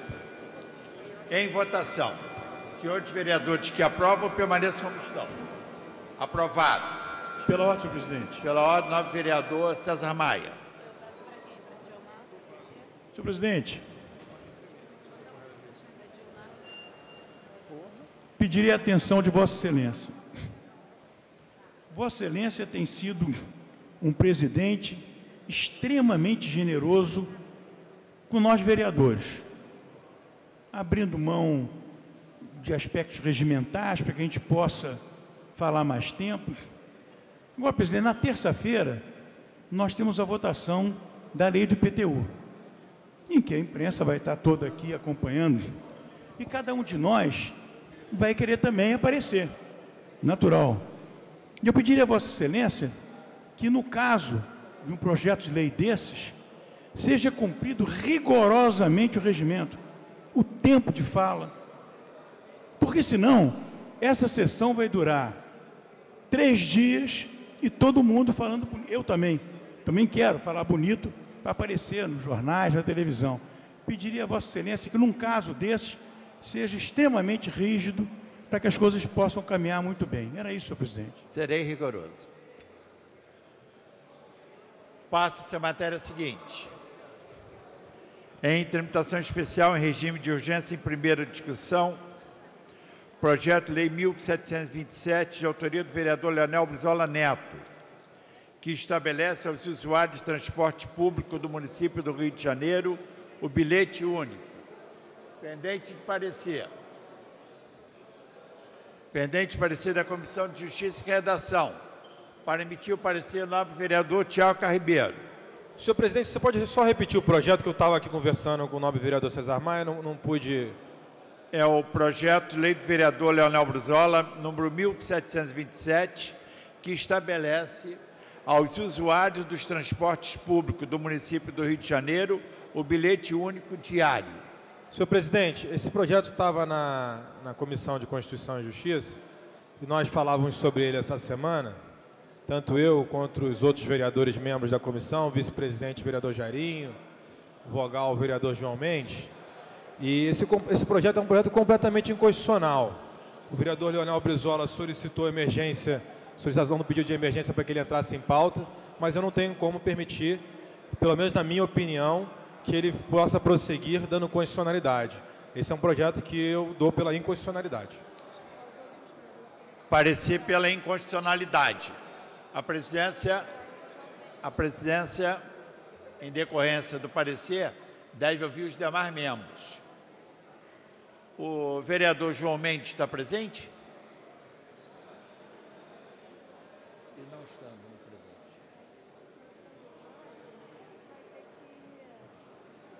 Vereador Jairinho, qual é o parecer de Vossa Excelência a respeito do projeto Pela constitucionalidade, acompanho o voto do presidente. pela inconstitucionalidade? Projeto segue ao arquivo. Pela ordem, senhor presidente. Pela ordem, o nobre vereador Leonel Brizola. É, senhores vereadores, o projeto que a gente ia tentar analisar, ou pelo menos tentar discutir aqui, ele era a seguinte questão. Ele dá o direito ao usuário do transporte, com um único bilhete, com um único bilhete, poder, faz, poder fazer a integração de todos os outros modais públicos, como existe em todo canto do mundo. Esse projeto não é inconstitucional, conforme disse o Tiago Carribeiro, vereador Jairinho. Não há inconstitucionalidade aí. Talvez há outra questão de transporte aí por trás. Talvez haja outra questão de transporte aí por trás não esclarecida. Porque o que o trabalhador diariamente passa nos transportes públicos é um escárnio. É baldeação. São horas no trânsito, vereador Carribeiro. Pela ordem. São horas no trânsito, vereador Carribeiro.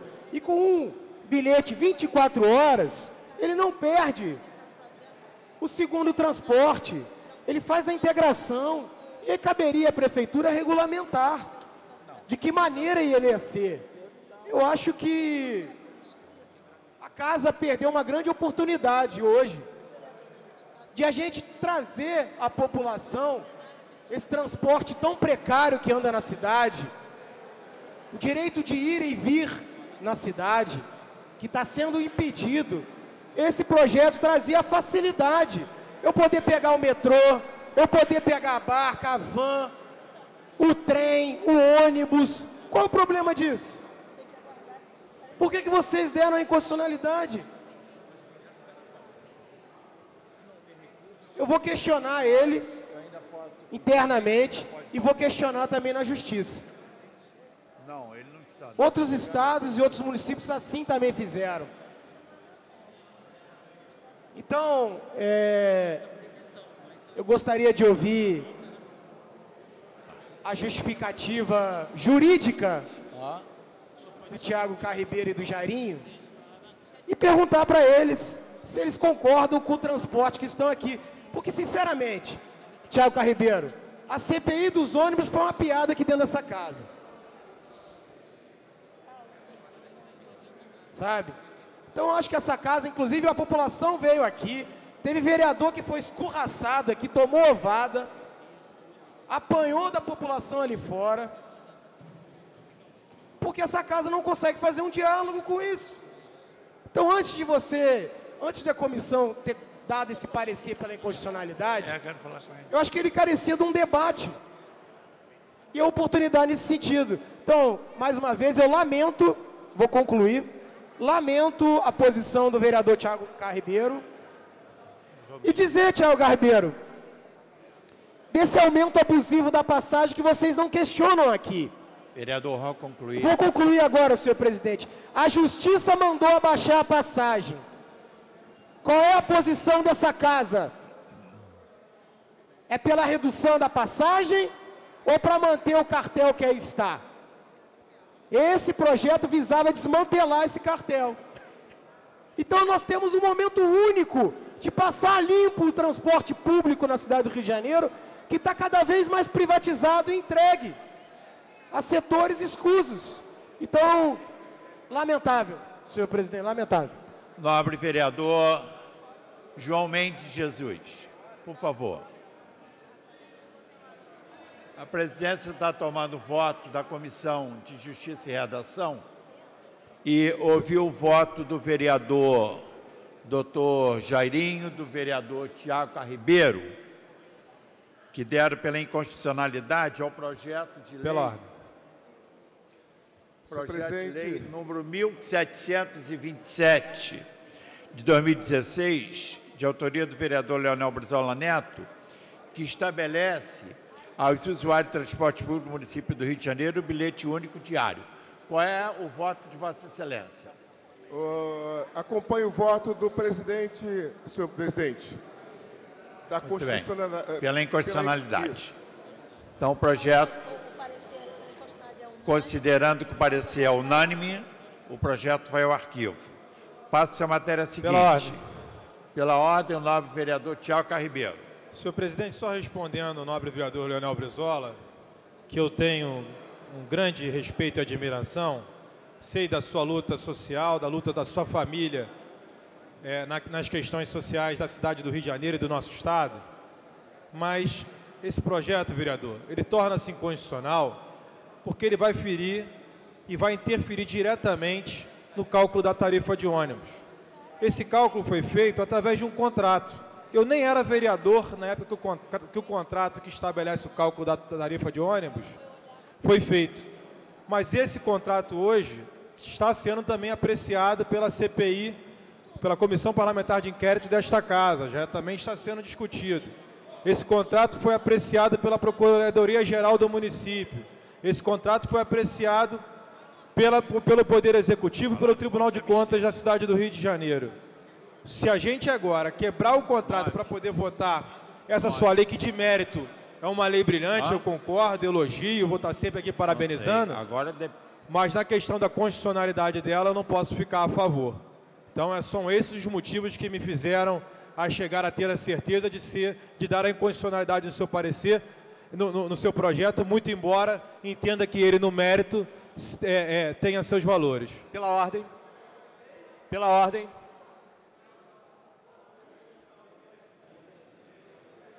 Pela ordem, vereador Tarcísio Mota. Nobre vereador Tiago Carribeiro, me permita discordar da sua fala em plenário agora para justificar essa situação da inconstitucionalidade. É, a existência de um contrato não pode inviabilizar que o Poder Legislativo atue legislando. A discussão é, a partir da aprovação desta lei do vereador Leonel Brizola, é preciso que se faça a lógica da revisão tarifária para a atualização da Pela própria ordem. equação que lá estava.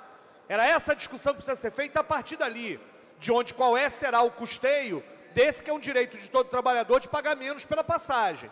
Portanto, o que está se colocando aqui não é uma legislação que simples e puramente fere e quebra o contrato que lá está.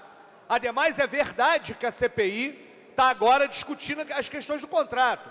E, inclusive, a gente precisa lembrar que a decisão recente da Justiça foi de que todas as revisões tarifárias perdão, os reajustes e revisões tarifárias feitas, neste caso, pelo governo do PMDB, do seu partido, a revelia inclusive do debate, sempre foram para beneficiar a FETransport e as empresas de ônibus. Ao contrário do que, na verdade, nós deveríamos estar discutindo a partir da aprovação do projeto de lei do vereador Leonel Brizola. Agora, a discussão sobre a fonte de custeio, como faz, como não faz, para se aplicar a lei que ele apresentou aqui, não é uma discussão de constitucionalidade ou inconstitucionalidade. É uma discussão de mérito. E aí, claramente, o que está se defendendo aqui são os interesses da FETransport, não os interesses da Constituição.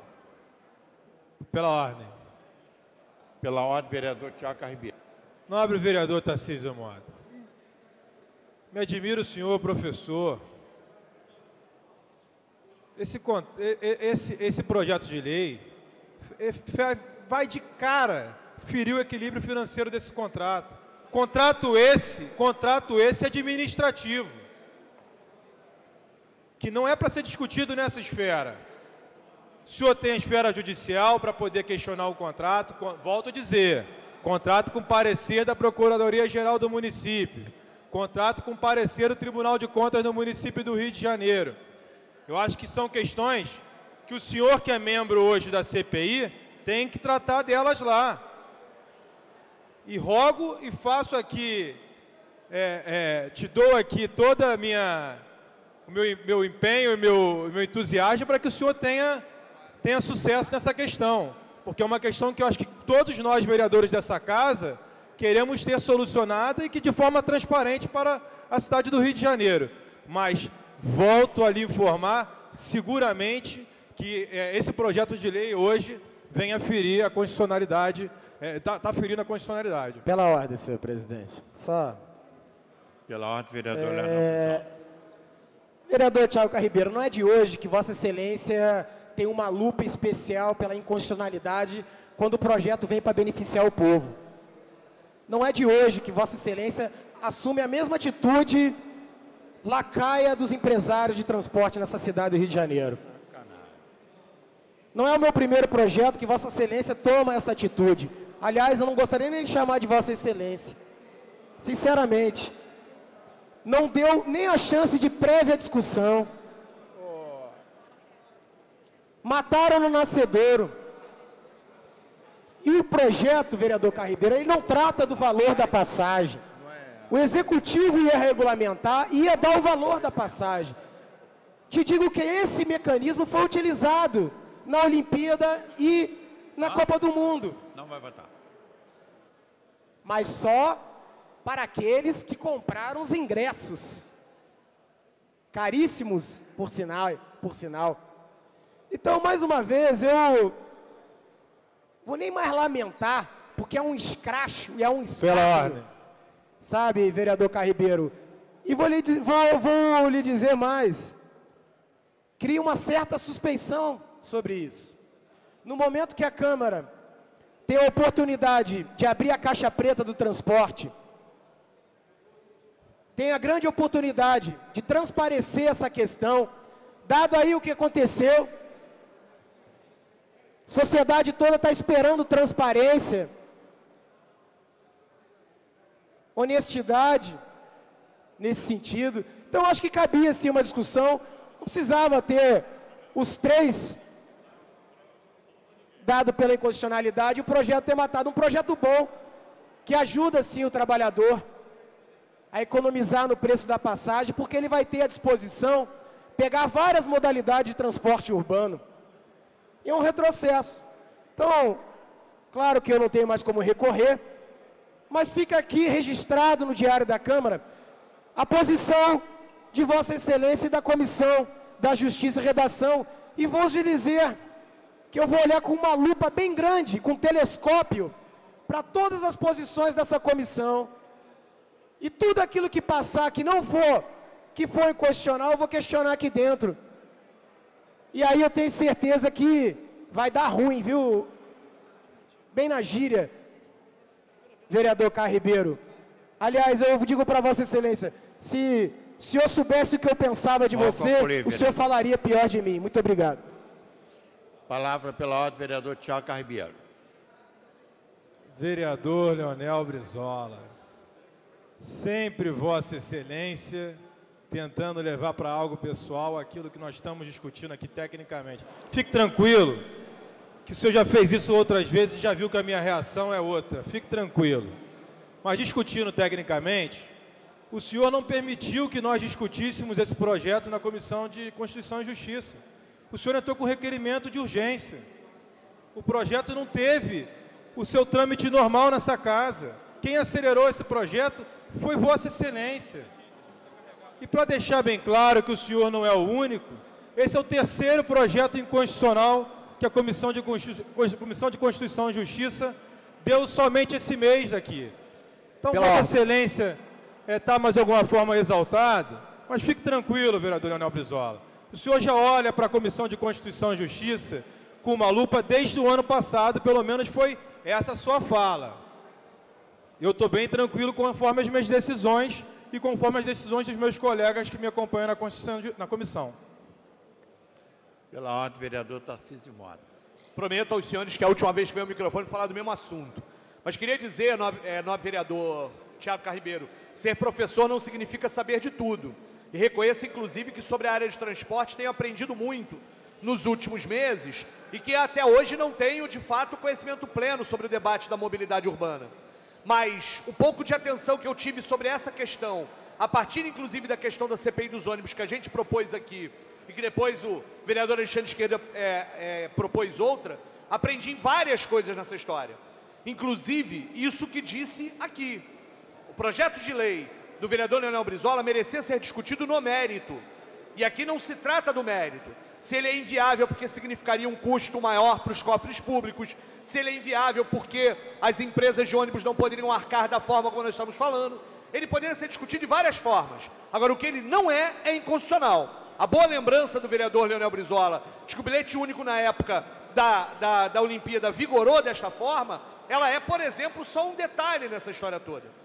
Nós temos, por exemplo, a adoção do BRT, que diminuiu, e isso é uma fala do prefeito Crivella. O prefeito de muitos vereadores aqui votam nos projetos dele. Durante a campanha, ele dizia: o BRT diminuiu os custos operacionais da operação do sistema de ônibus deveria incidir sobre o cálculo da tarifa para abaixar a tarifa. Mas isso ninguém fala. A lógica é a mesma. A concessão de um bilhete único diário para a população do Rio de Janeiro mexeria no equilíbrio econômico financeiro das empresas? Claro, dependendo do valor, do custo e dependendo de onde viria, quem é que vai pagar esta conta. Mas inconstitucional, ele não é. Inconstitucional de forma alguma.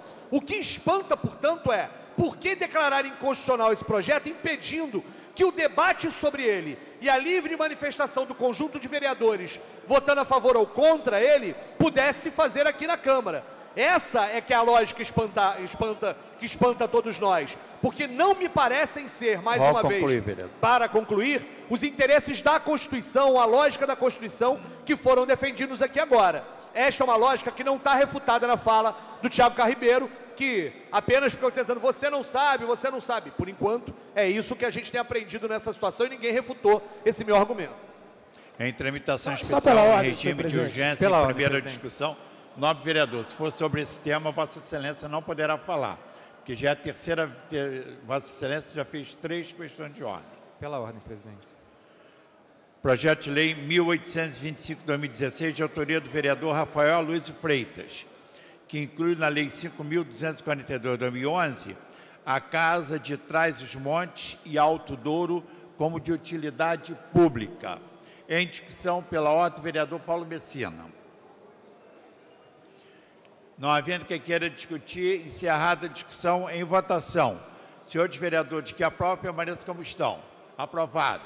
Solicitada a votação nominal pelo vereador Leonel Brizola.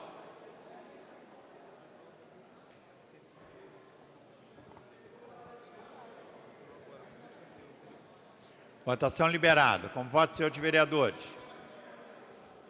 Como vota a vereadora Luciana Novaes? Sim. Sim.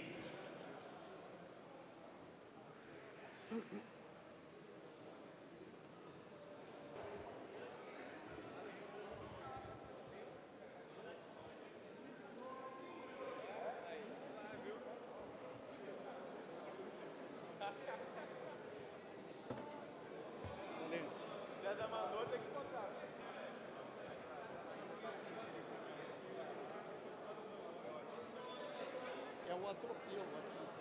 Já estou precipitando para semana que vem. As emendas são ainda vai apresentar.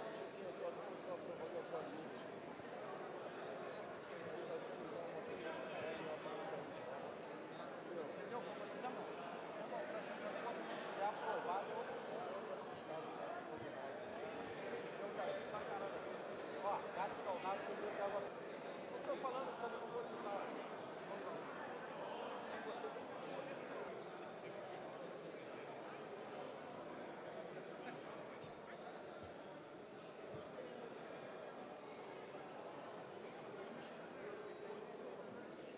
Fala, Leandro.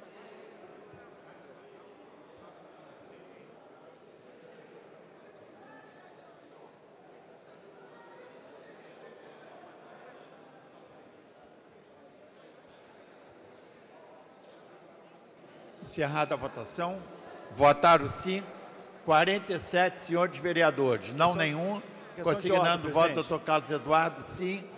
48 votos. Impedido regimentalmente votar o presidente. Pela ordem, O projeto presidente. está aprovado. Pela ordem, vereador Leonel Brizola. Senhor presidente, não, só para refazer, eu não fiz três falas, eu fiz duas falas. Então, só para responder o vereador Tiago Carribeiro, esse projeto, Tiago Carribeiro, está desde 2016. Se a Comissão de Justiça e Redação não deu um parecer, foi por incompetência da comissão. Ele está desde o ano passado tramitando dentro dessa casa. Eu coloquei em questão de urgência para que ele seja votado e discutido. Mas, infelizmente, parece que não é esse o teor daqui. Muito obrigado. Para a comunicação de liderança, o vereador Raimon. Senhor presidente, senhores vereadores, hoje é dia 31 de agosto.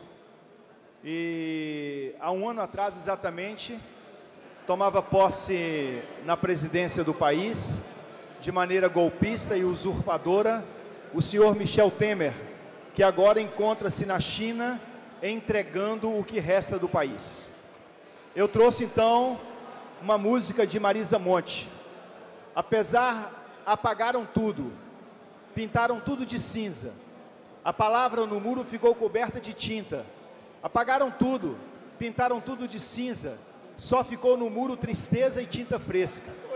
Nós que passamos apressados pelas ruas da cidade, merecemos ler as letras e as palavras de gentileza. Por isso eu pergunto a você no mundo, se é mais inteligente o livro ou a sabedoria? O mundo é uma escola, a vida é um círculo. Amor, palavra que liberta, já dizia o profeta. Apagaram tudo, pintaram tudo de cinza, só ficou no muro tristeza e tinta fresca.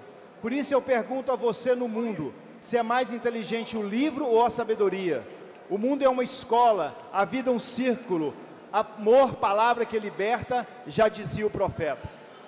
Nesse dia 31 de agosto, fica aqui a fala da liderança do Partido dos Trabalhadores, em acordo com a vereadora Luciana Novaes, fica aqui o grito na garganta para dizer ao STF que o STF tem a obrigação de dizer à sociedade brasileira se o STF julga procedente o golpe que ele sabe que existiu ou se ele julga improcedente.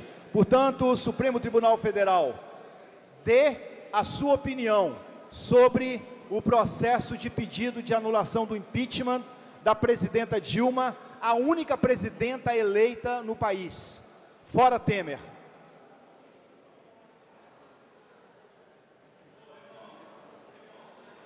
Em tramitação especial em regime de urgência em primeira discussão, projeto de decreto legislativo 278-2016, de autoria do vereador William Coelho, que concede o título de cidadão honorário no município do Rio de Janeiro ao padre Eugênio de Sena Monteiro. Em discussão. Não havendo quem queira discutir, encerrada a discussão em votação. Senhores vereadores que aprovam, permaneçam como estão. Aprovado, retornará em segunda discussão. Nominal, solicitada votação nominal pelo vereador Leonel Brizola. Votação nominal.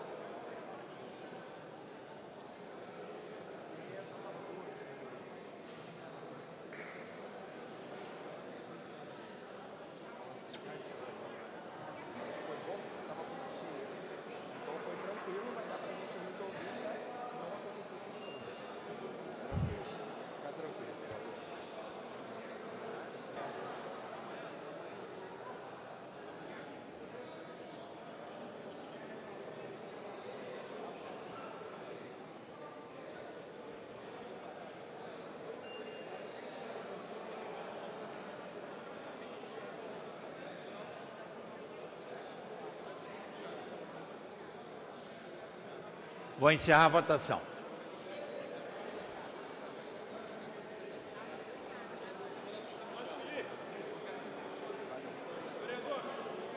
Como vota a vereadora Luciana Novaes. Sim. Sim.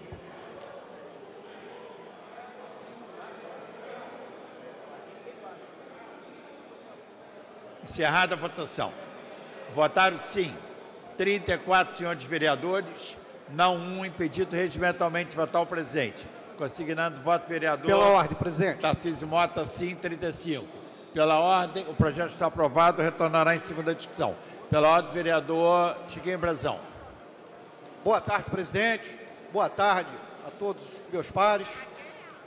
É, presidente, alguns vereadores, no decorrer desses dias, inclusive ontem, fui muito perguntado aqui, pô, vereador, você já trabalha, já atua há mais tempo nessa casa. É normal o que vem acontecendo? Aí eu digo, bom, primeiro, vamos pontuar. O que vem acontecendo? Eu apresentei algumas emendas, isso é a dúvida aqui, sem citar alguns vereadores.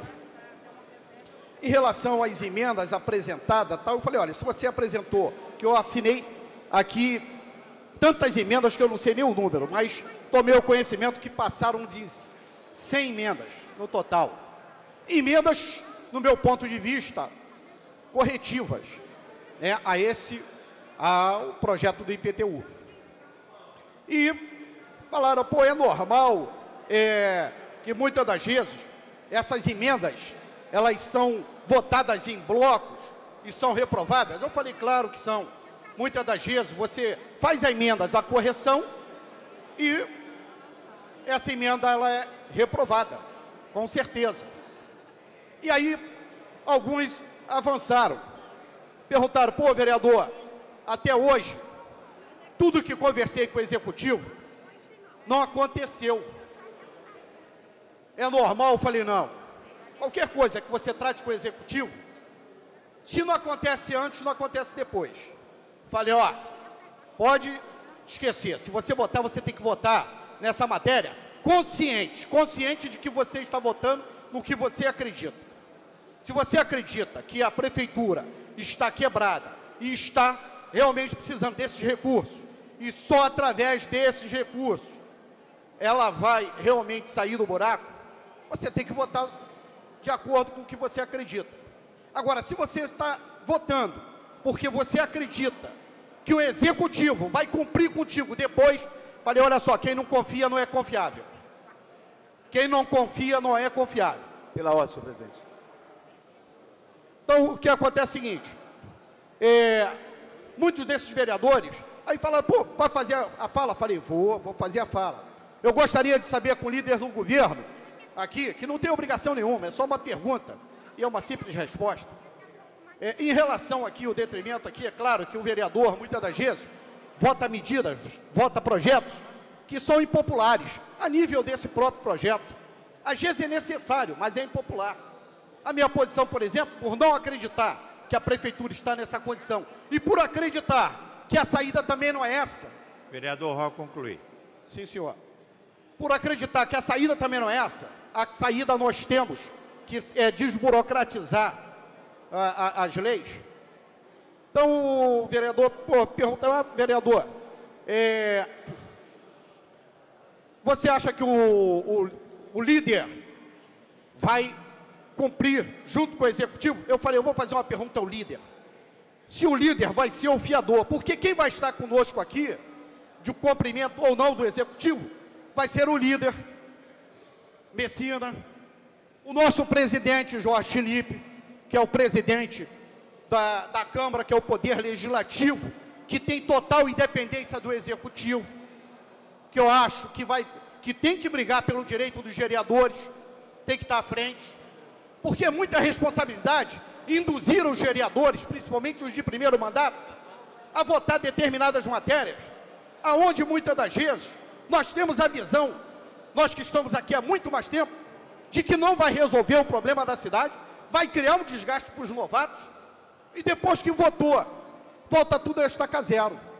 Aí, porra, tá tudo bem, vai cobrar quem? Vocês vão sair daqui para ir cobrar o prefeito? Esquece, que não vai nem atender vocês. Aqui é quem tem peso. E eu, com certeza, tenho carinho por alguns vereadores, outros que chegaram novato aqui e que sempre gostei muito, tive relações, é, uma boa relação, Vereador independente de estar aqui no. Já vou concluir, presidente. De estar aqui na Câmara. Então, já vi vereadores aqui, que nem o próprio Fernando Moraes, que eu falava várias vezes, Fernando, peraí, o executivo tem as prioridades dele, o legislativo é dela. Nós temos que ter o um entendimento que nem tudo que o executivo manda para essa casa é correto. Nós não podemos induzir o executivo ao erro. Nós não podemos. Nós temos o dever de votar pela cidade. Não porque a mensagem chegou aqui pelo executivo. Se é bom para a cidade, os vereadores têm obrigação de votar. Se tem dúvida sobre o projeto, nós temos que refazer e reacreditar. Até porque de 1 milhão e 900 mil inscritos, 1 milhão e 100 são isentos. Apenas 800 mil pagam. Alguma coisa está errada. A mensagem ela veio distorcida. A mensagem não tinha que vir para esta casa em cima de quem paga já o IPTU, que já paga um IPTU muito caro e que vai encarecer muito mais. Se ele quer, se eles querem é, justiça social, é em cima de quem não paga. E detalhe, também não é com essas tarifas, com aumento de 50% no ITBI, com a, a, o reajuste aí da, da taxa de lixo. Vereador Vai ser todo um impacto em cima da vida das pessoas que estão desempregadas e de um funcionário público que não recebe seus salários em dia, que nós teremos um problema muito grave. Nós vamos fazer com que o município do Rio de Janeiro tenha a maior inadimplência do Brasil. E isso é responsabilidade dessa casa. O executivo pode errar, mas essa casa não pode. Só ela pode autorizar esse erro. Obrigado, presidente. Pela ordem, vereador Tony de Paulo. Senhor presidente, tentarei ser o mais breve possível, apenas para manifestar a, a, minha, a minha tristeza. Eu sempre aprendi que a política é feita de gestos. E ontem o parlamento estadual deixou de fazer um grande gesto à sociedade quando se negou reduzir em 30% o salário do atual governador do estado devido à crise e de seus secretários. Apesar de que eu acho que essa redução deveria ser também do salário dos deputados. Assim como se a cidade entrar em uma eventual crise, eu entendo que esta casa também deveria dar um gesto de redução salarial do nosso próprio salário. Basta a cidade entrar na mesma crise que o Estado está. Agora, ao mesmo tempo que a LERJ rejeita fazer esse gesto para que a sociedade entenda de que o governo corta na própria carne, ah, o Diário Oficial da LERJ publicou hoje a concessão de bolsa de reforço escolar, ah, segundo o jornalista Lauro Jardim, no valor de R$ 1.136,53, a ex-mulher do ex-governador Sérgio Cabral, Suzana Neves Cabral. E, inclusive, esse pedido, segundo alguns funcionários da Alerj e segundo a nota uh, do jornal, entrou no dia 3 de agosto e nunca viram uh, um pedido desse tramitar com tanta rapidez na casa.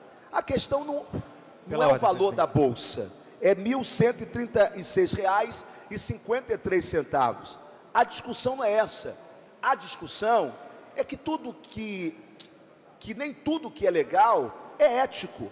Portanto, nesse momento em que o Estado está atravessando, não é? Além de não permitir o corte na própria carne, a Alerj agora também dá um gesto muito ruim, sinalizando esta bolsa ah, para a ex-esposa do senhor Sérgio Cabral.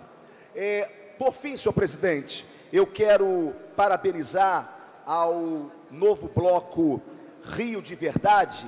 São, é, um, é um bloco formado por novos vereadores que estão em seu primeiro mandato. Parabéns é, por essa iniciativa e parabéns também por essa coragem é, do bloco Rio de Verdade, que mostra a independência e a vontade que esse bloco tem de ajudar o governo, de ajudar a prefeitura, mas sem ficar ah, contrário àquilo que a população do, do Rio de Janeiro entende. Por isso, creio que foram felizes até no nome Rio de Verdade. Eu, essa semana que vem, já estarei protocolando junto à mesa ah, também o meu ingresso ao bloco Rio de Verdade e espero que o bloco republicanamente possa avançar na conquista de um Rio de verdade, porque chega de mentiras. Pela ordem. Pela ordem, vereador Paulo Pinheiro. Senhor presidente, senhor vereador, eu queria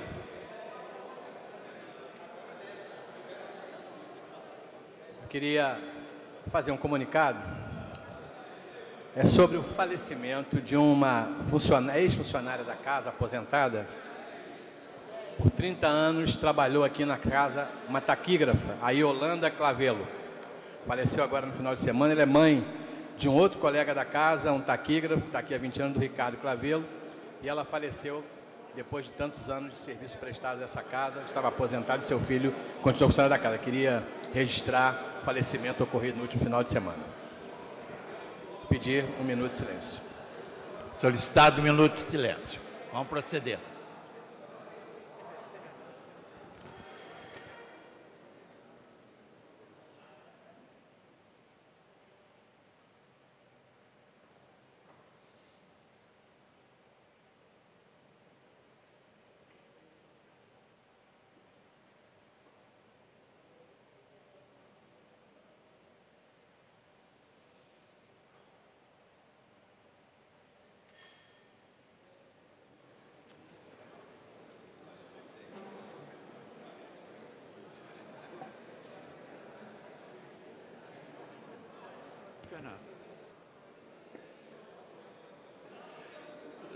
Em tramitação ordinária e segunda discussão.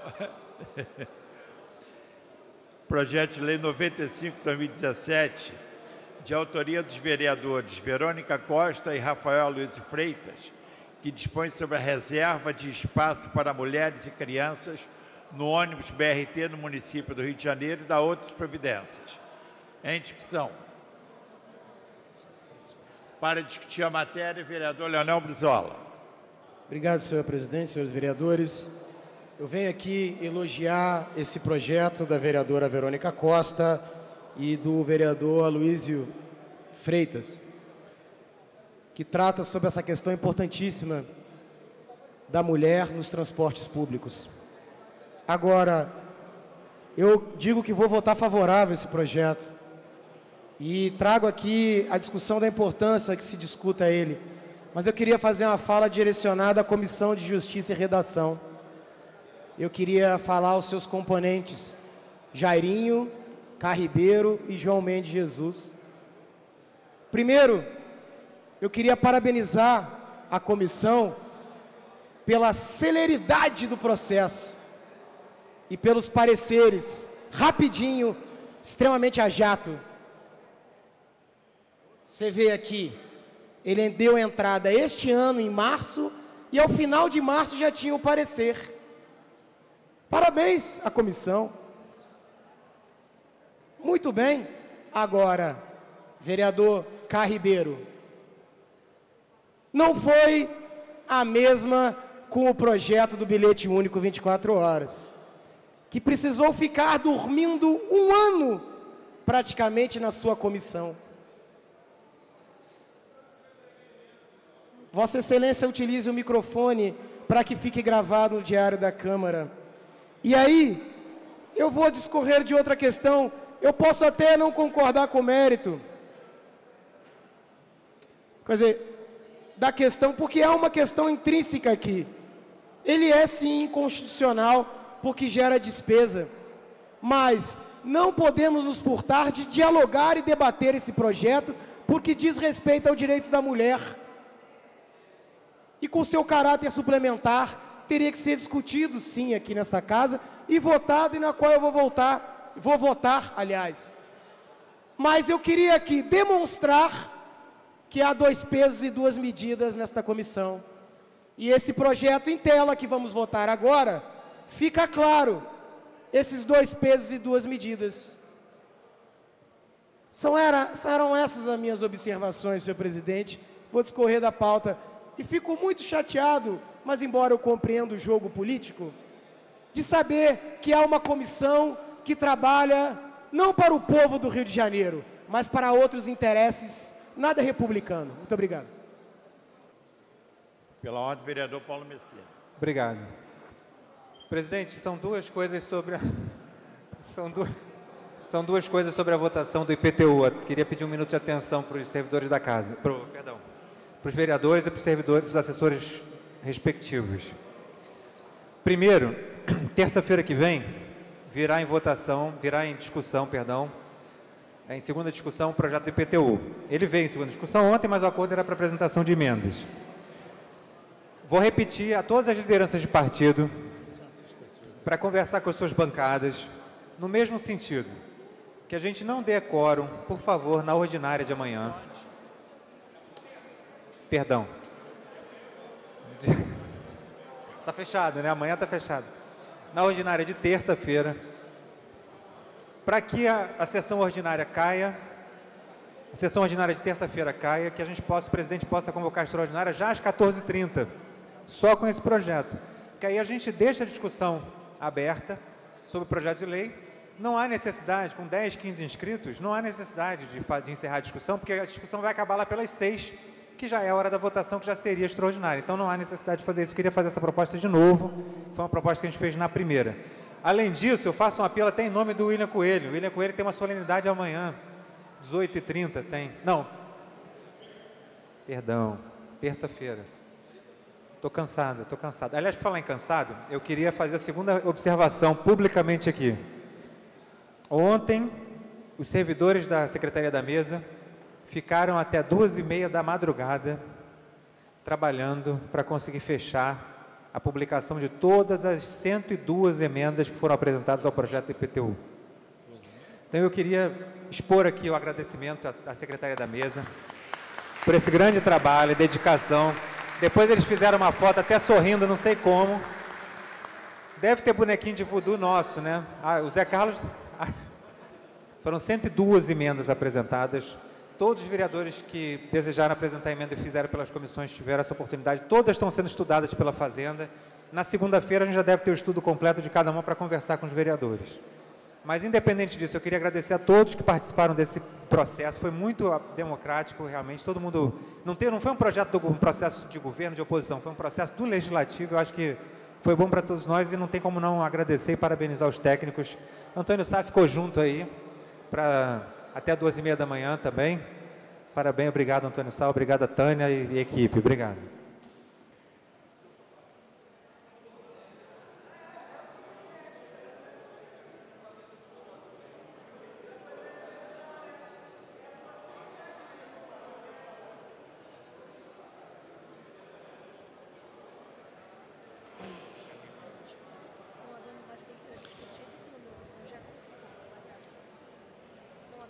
Somente para quem queira, somente repetindo, o projeto em discussão ainda é o projeto de lei número 95 de 2017, de autoria dos, dos vereadores Verônica Costa e Rafael Aloysio Freitas. Não havendo mais quem queira discutir a matéria, é encerrada a discussão em votação. Senhores vereadores que aprovam, permaneçam como estão. Aprovado. Fica dispensada a redação final, segue autógrafos.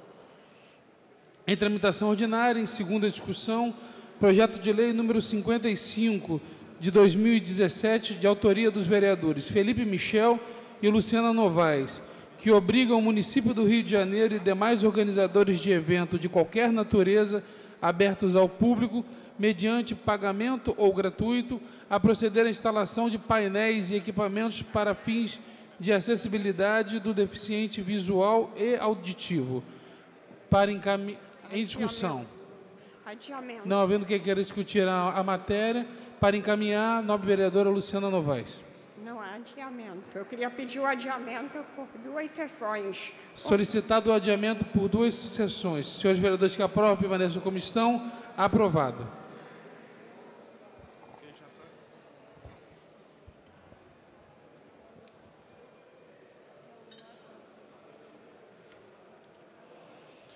Em tramitação ordinária, em primeira discussão. Projeto de lei número 1878 de 2016, de autoria do senhor vereador João Mendes de Jesus, que inclui o Dia do Avivamento na, na rua Azusa, no calendário oficial da cidade, consolidado pela Lei 5.146. O projeto já está em votação. Senhores vereadores que aprovam, permaneçam como estão. Aprovado. O projeto voltará em segunda discussão.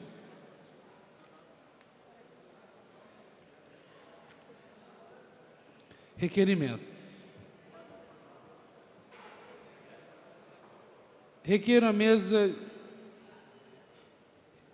Requer a mesa diretora a inversão de pauta para que o projeto de lei número 447 de 2013 seja apreciado logo após, logo após o projeto de lei complementar número 29 de 2013, de autoria do senhor vereador Eliseu Kessler. Senhores vereadores que aprovam, permaneçam como estão.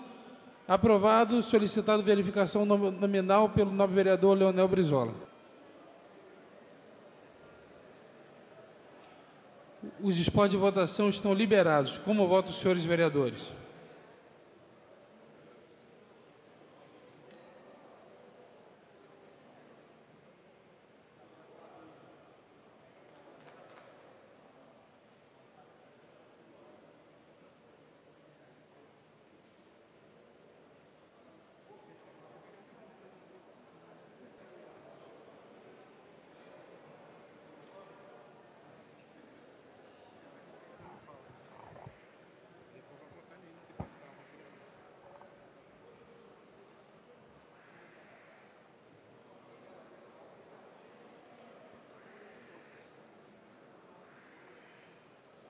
Como vota a nova vereadora Luciana Novaes? Sim.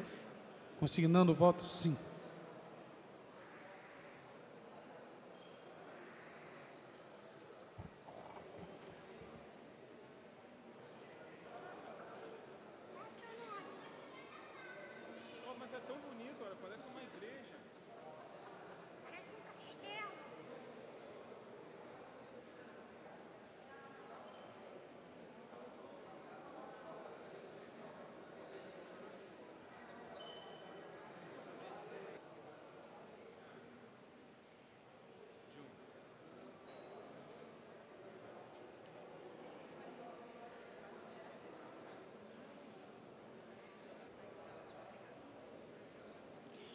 Vou encerrar a votação.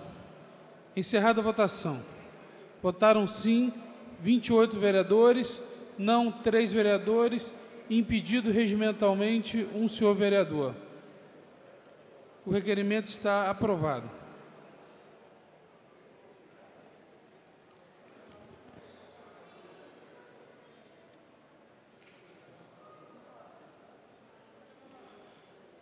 Projeto de lei número 447 de 2013, de autoria do vereador Eliseu Kessler, que cria o Programa Municipal de Estágio para o Magistério de Nível Médio e da outras providências.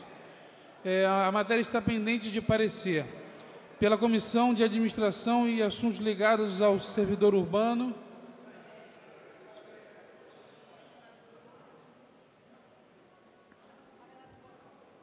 Convido o novo vereador Renato Moura para emitir parecer. Parecer favorável, presidente. Parecer favorável. Pela Comissão de Educação, o novo vereador Paulo Messina para emitir parecer. Favorável, presidente. Parecer favorável. Pela Comissão de Finanças, Orçamento e Fiscalização Financeira, convido a nova vereadora Rosa Fernandes para emitir parecer. Senhor presidente, o parecer da comissão é favorável porque toda e qualquer qualificação experiência que se dá a todos os profissionais é sempre muito bem-vindo. Parecer favorável. A matéria está em discussão. Não, encerrada a discussão, em votação. Senhores vereadores que aprovam, permaneçam como estão. Aprovado. O, o projeto voltará em segunda discussão.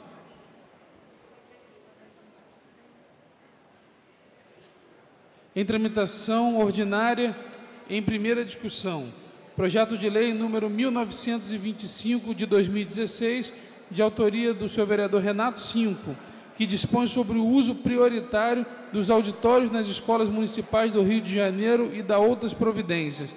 A matéria está pendente de parecer pela Comissão de Administração e Assuntos Ligados ao Servidor Público. Convido o novo vereador Renato Moura para emitir parecer. Parecer favorável, presidente. Parecer favorável. Pela Comissão de Educação, convido o novo vereador Tarcísio Mota para emitir parecer. Parecer favorável, senhor presidente. Parecer favorável. Pela Comissão de Cultura.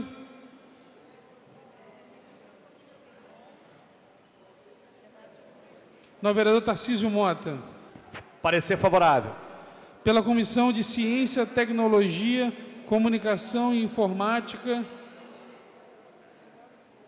Convido o novo vereador Leandro Lira para emitir parecer. Parecer favorável, presidente. Parecer favorável. Pela Comissão de Finanças, Orçamento e Fiscalização Financeira.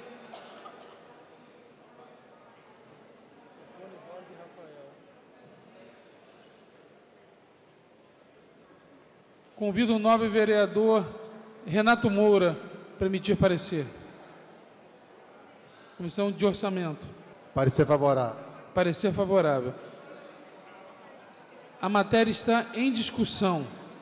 Não havendo quem queira discutir a matéria, em votação. Senhores vereadores que aprovam, permaneçam como estão. Aprovado.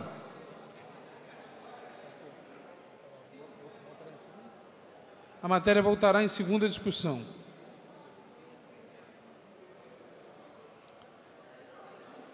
Requerimento do senhor vereador professor Adalmir.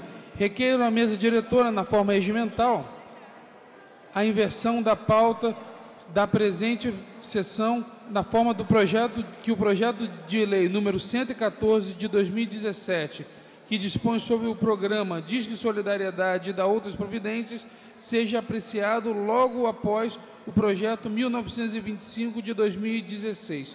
Senhores vereadores que aprovam, permaneçam como estão. Aprovado.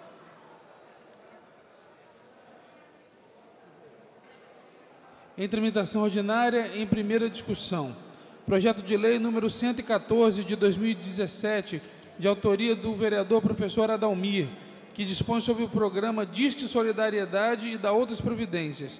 A matéria está pendente de parecer pela Comissão de Higiene, Saúde Pública e Bem-Estar Social. Convido o nobre vereador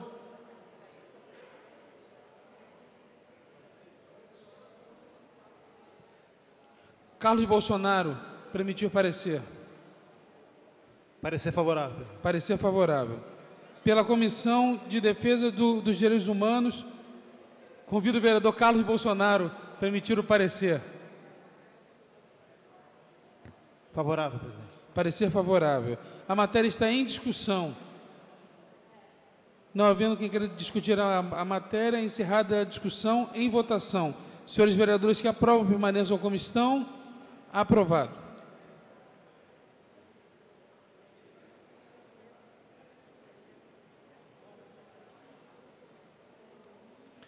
Em tramitação ordinária, em primeira discussão.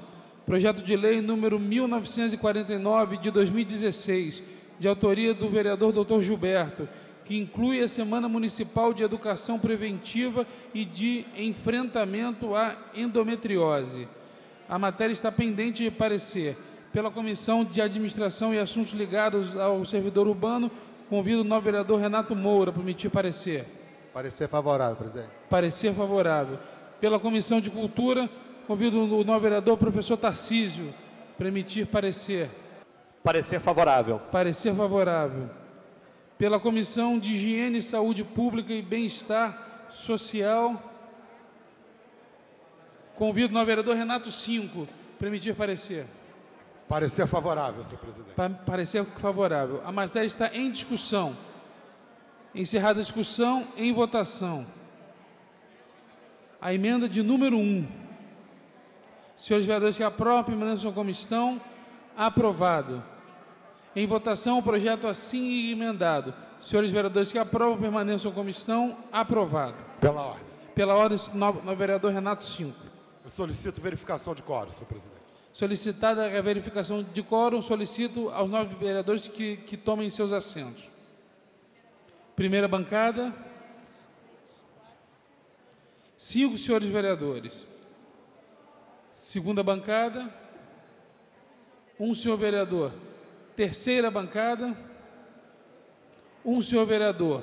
Quarta bancada. Dois senhores vereadores. Mesa, um senhor vereador. Mais um na quarta bancada. Onze senhores vereadores. Não há quórum para dar continuidade aos, aos, aos trabalhos. Antes de encerrar a sessão, a presidência convoca a sessão ordinária para a próxima terça-feira, às 14 horas. Está encerrada a sessão.